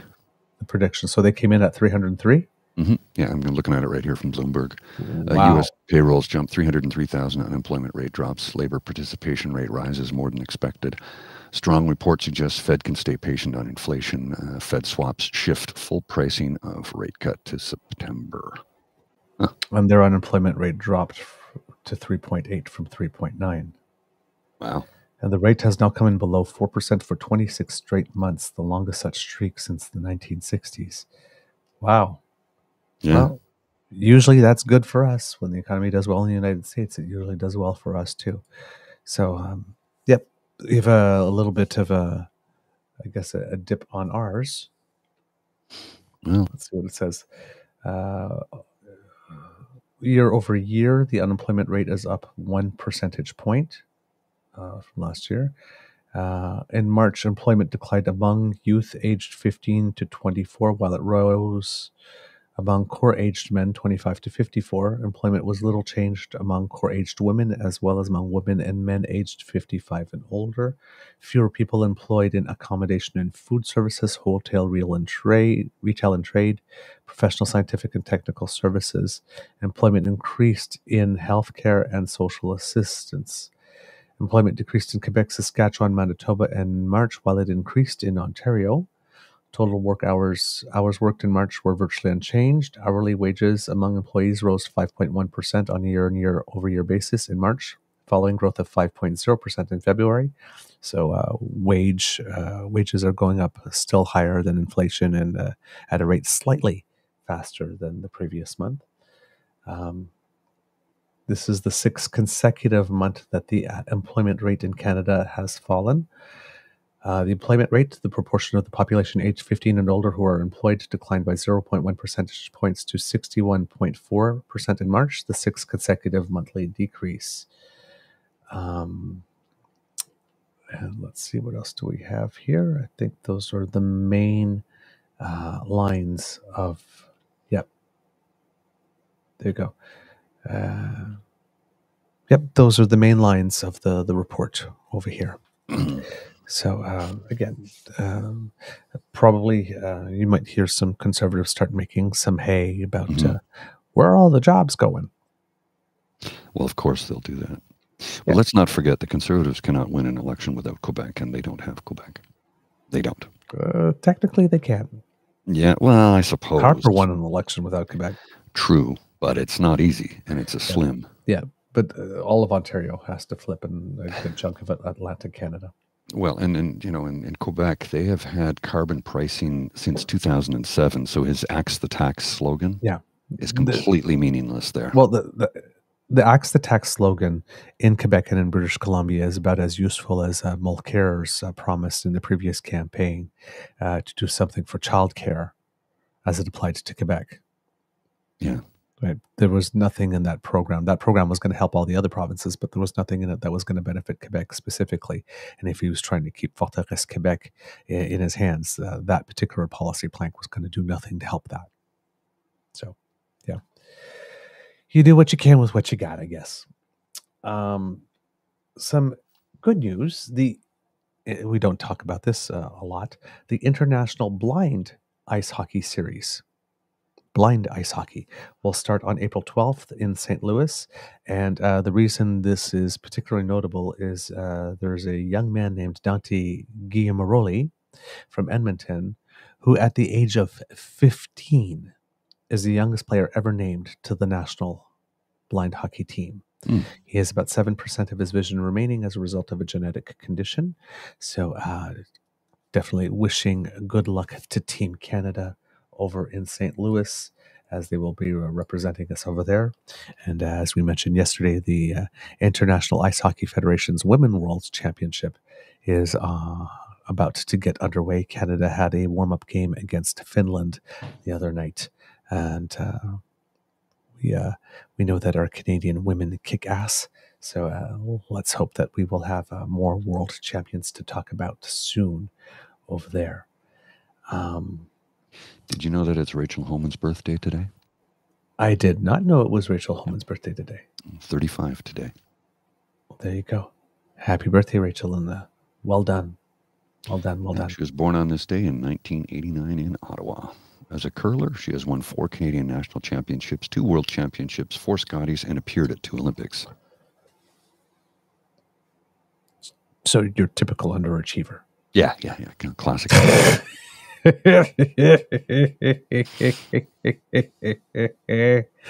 oh man, I tell you.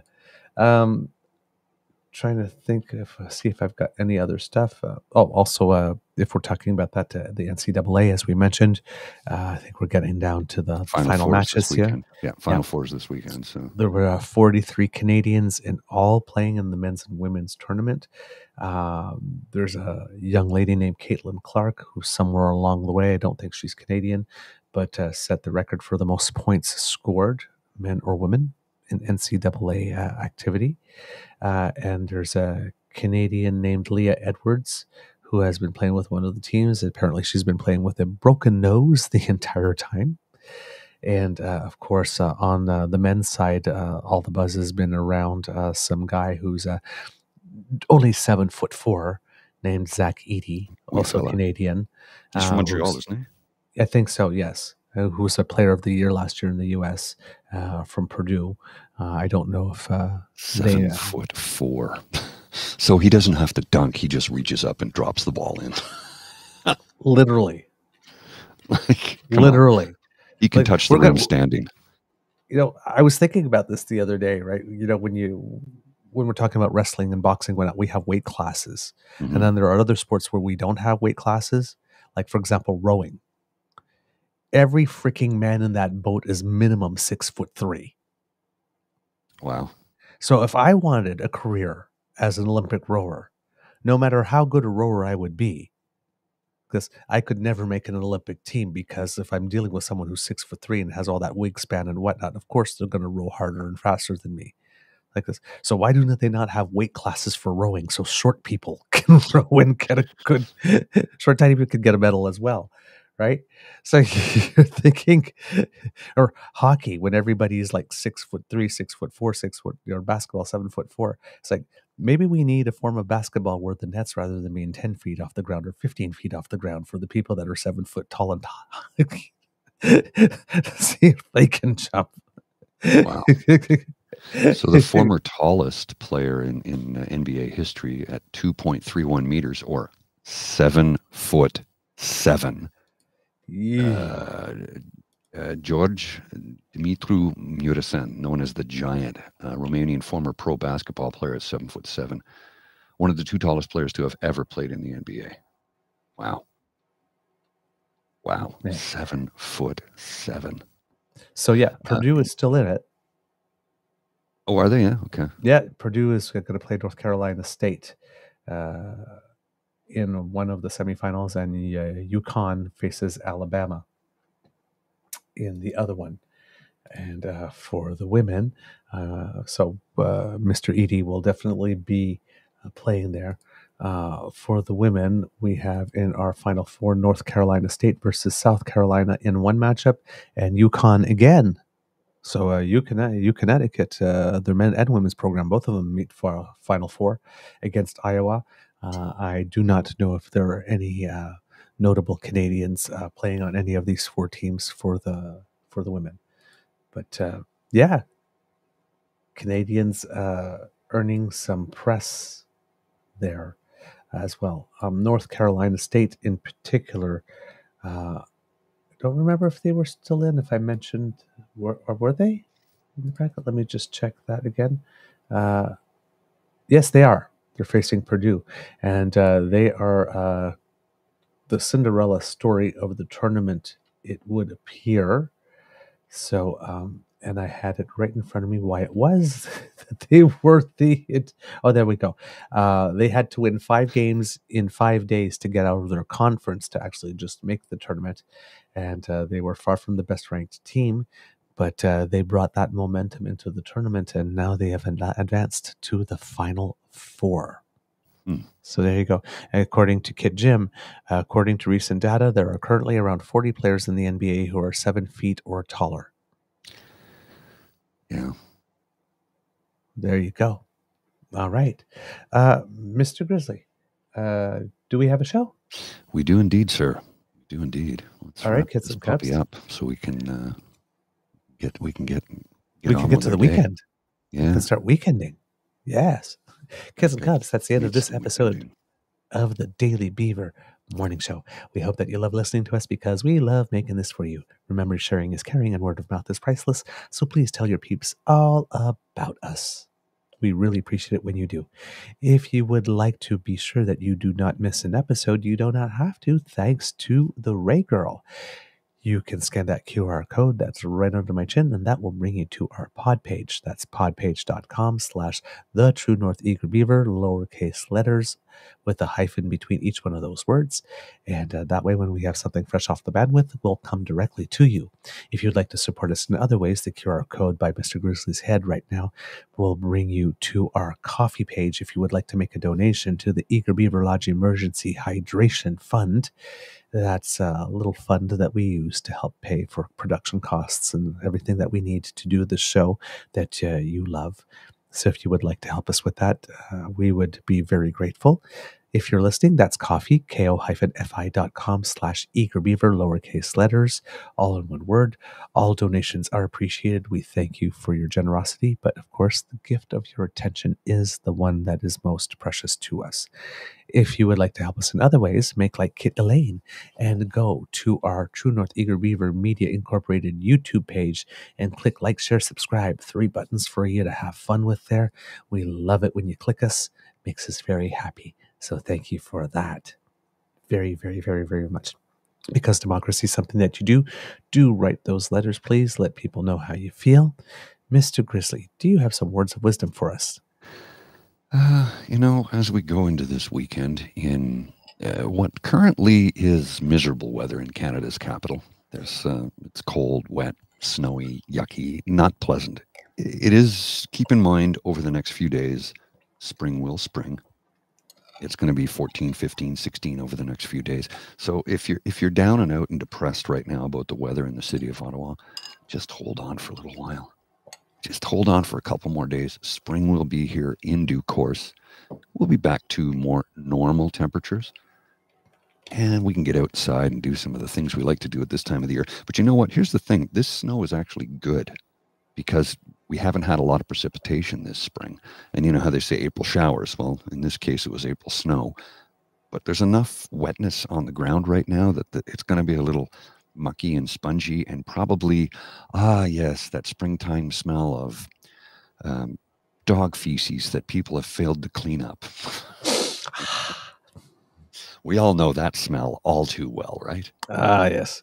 You know, you, uh, yes, Katavi G, you're right there with me. You're right there. You're reading my mind because uh, you were talking about uh, you know the rain and the sunshine like this and you almost you almost almost almost put out lyrics from wilson wilson phillips hold on when you were i know i know I was aware.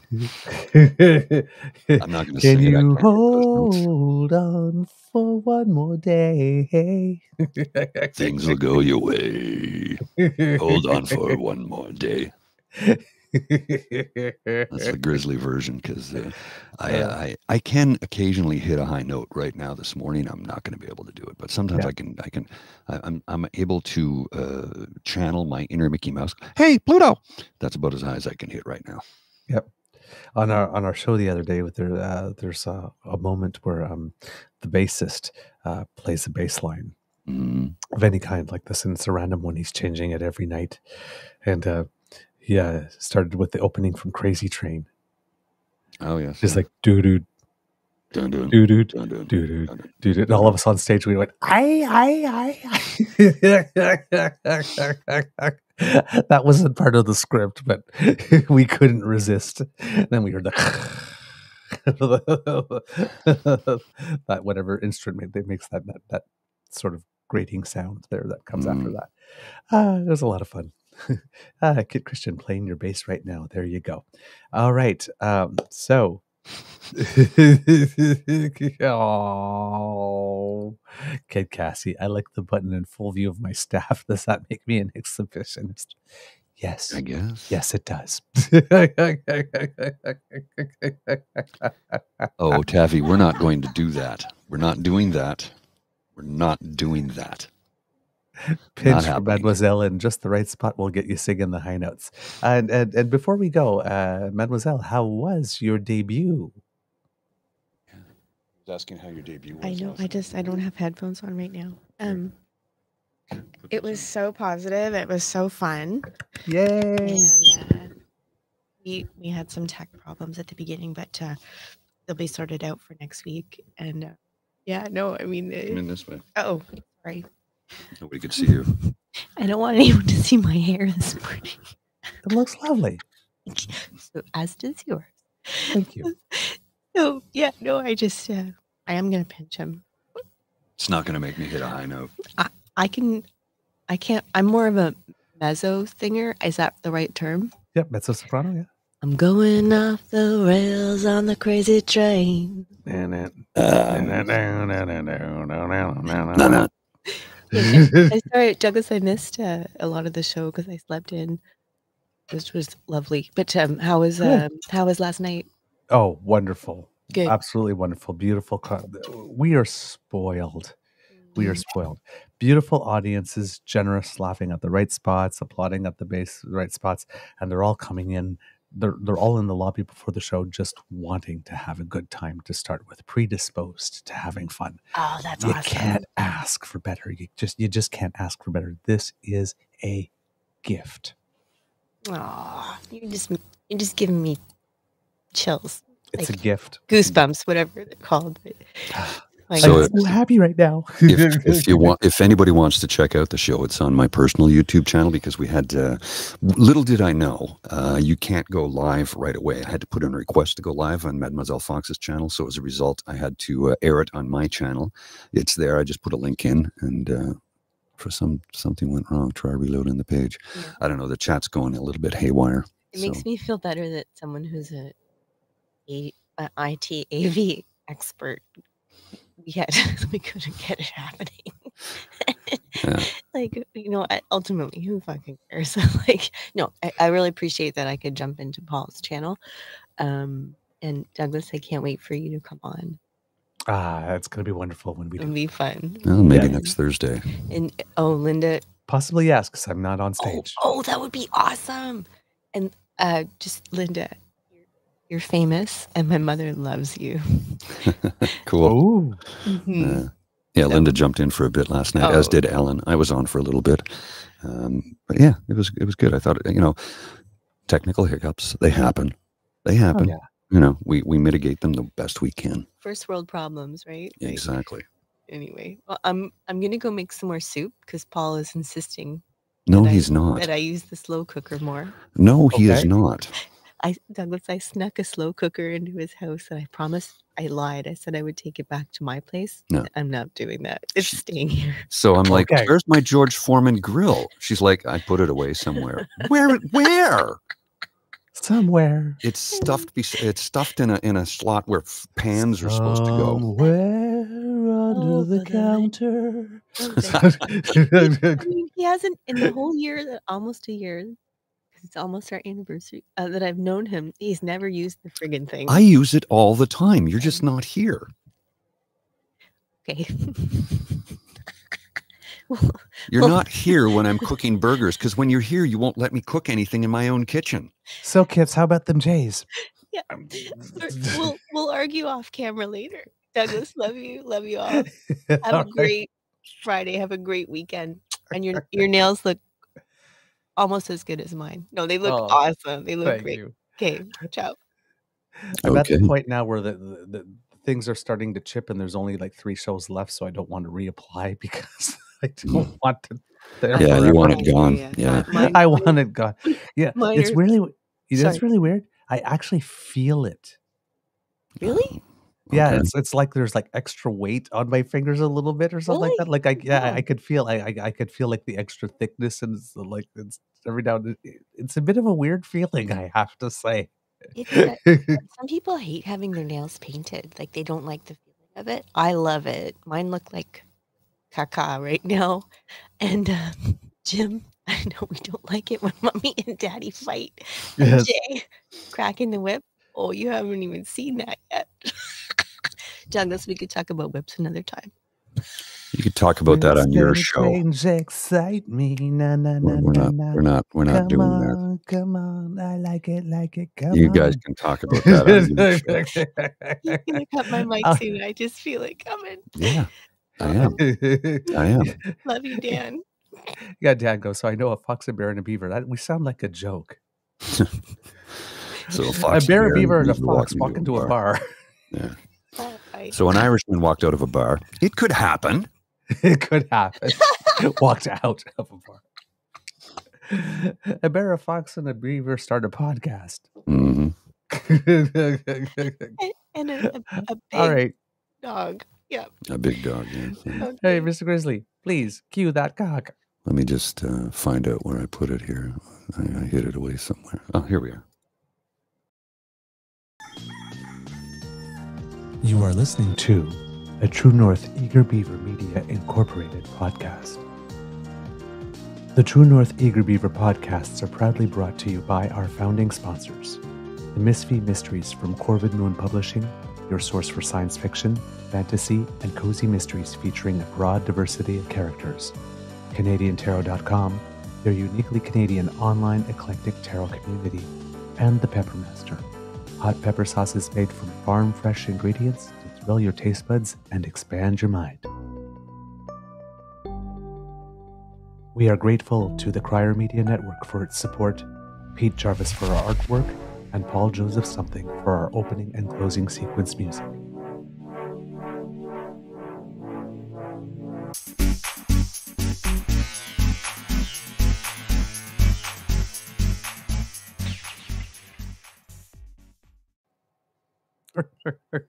oh Yeah, I'm getting- some I'm kids getting being roasted. cheeky. I'm getting roasted, I see yeah, cheeky. I kids. walked right into it. No, Yes, no, you did. no, I was going to say something myself, but I I, I exercised restraint. Mm. Because seriously, how could you lose that damn thing?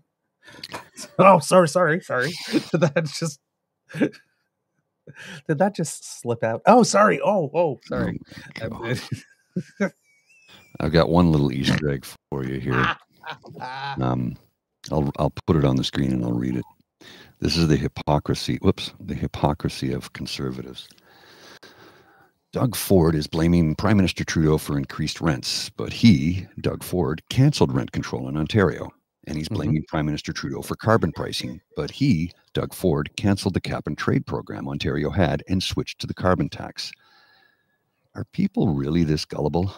Doug Ford is a liar. Some people are. Yeah. It takes all kinds to make a world, and some people are. Ooh, Yeah. You can that, see yeah, not you guys definitely got more than we did. Yeah, it's not pleasant out there. It's been snowing on and off since last night and early into this morning. It's just, it's not, it's not good. It's, you know, but like I said, don't let it bring you down too much. It's going to be a pleasant weekend. And as time goes on, it will get better. We will. We will. It's springtime. We promise. It's springtime. All right. Well, I got to go. I've got to go. take care of some Springtime for Beaver and Grizzly. See ya.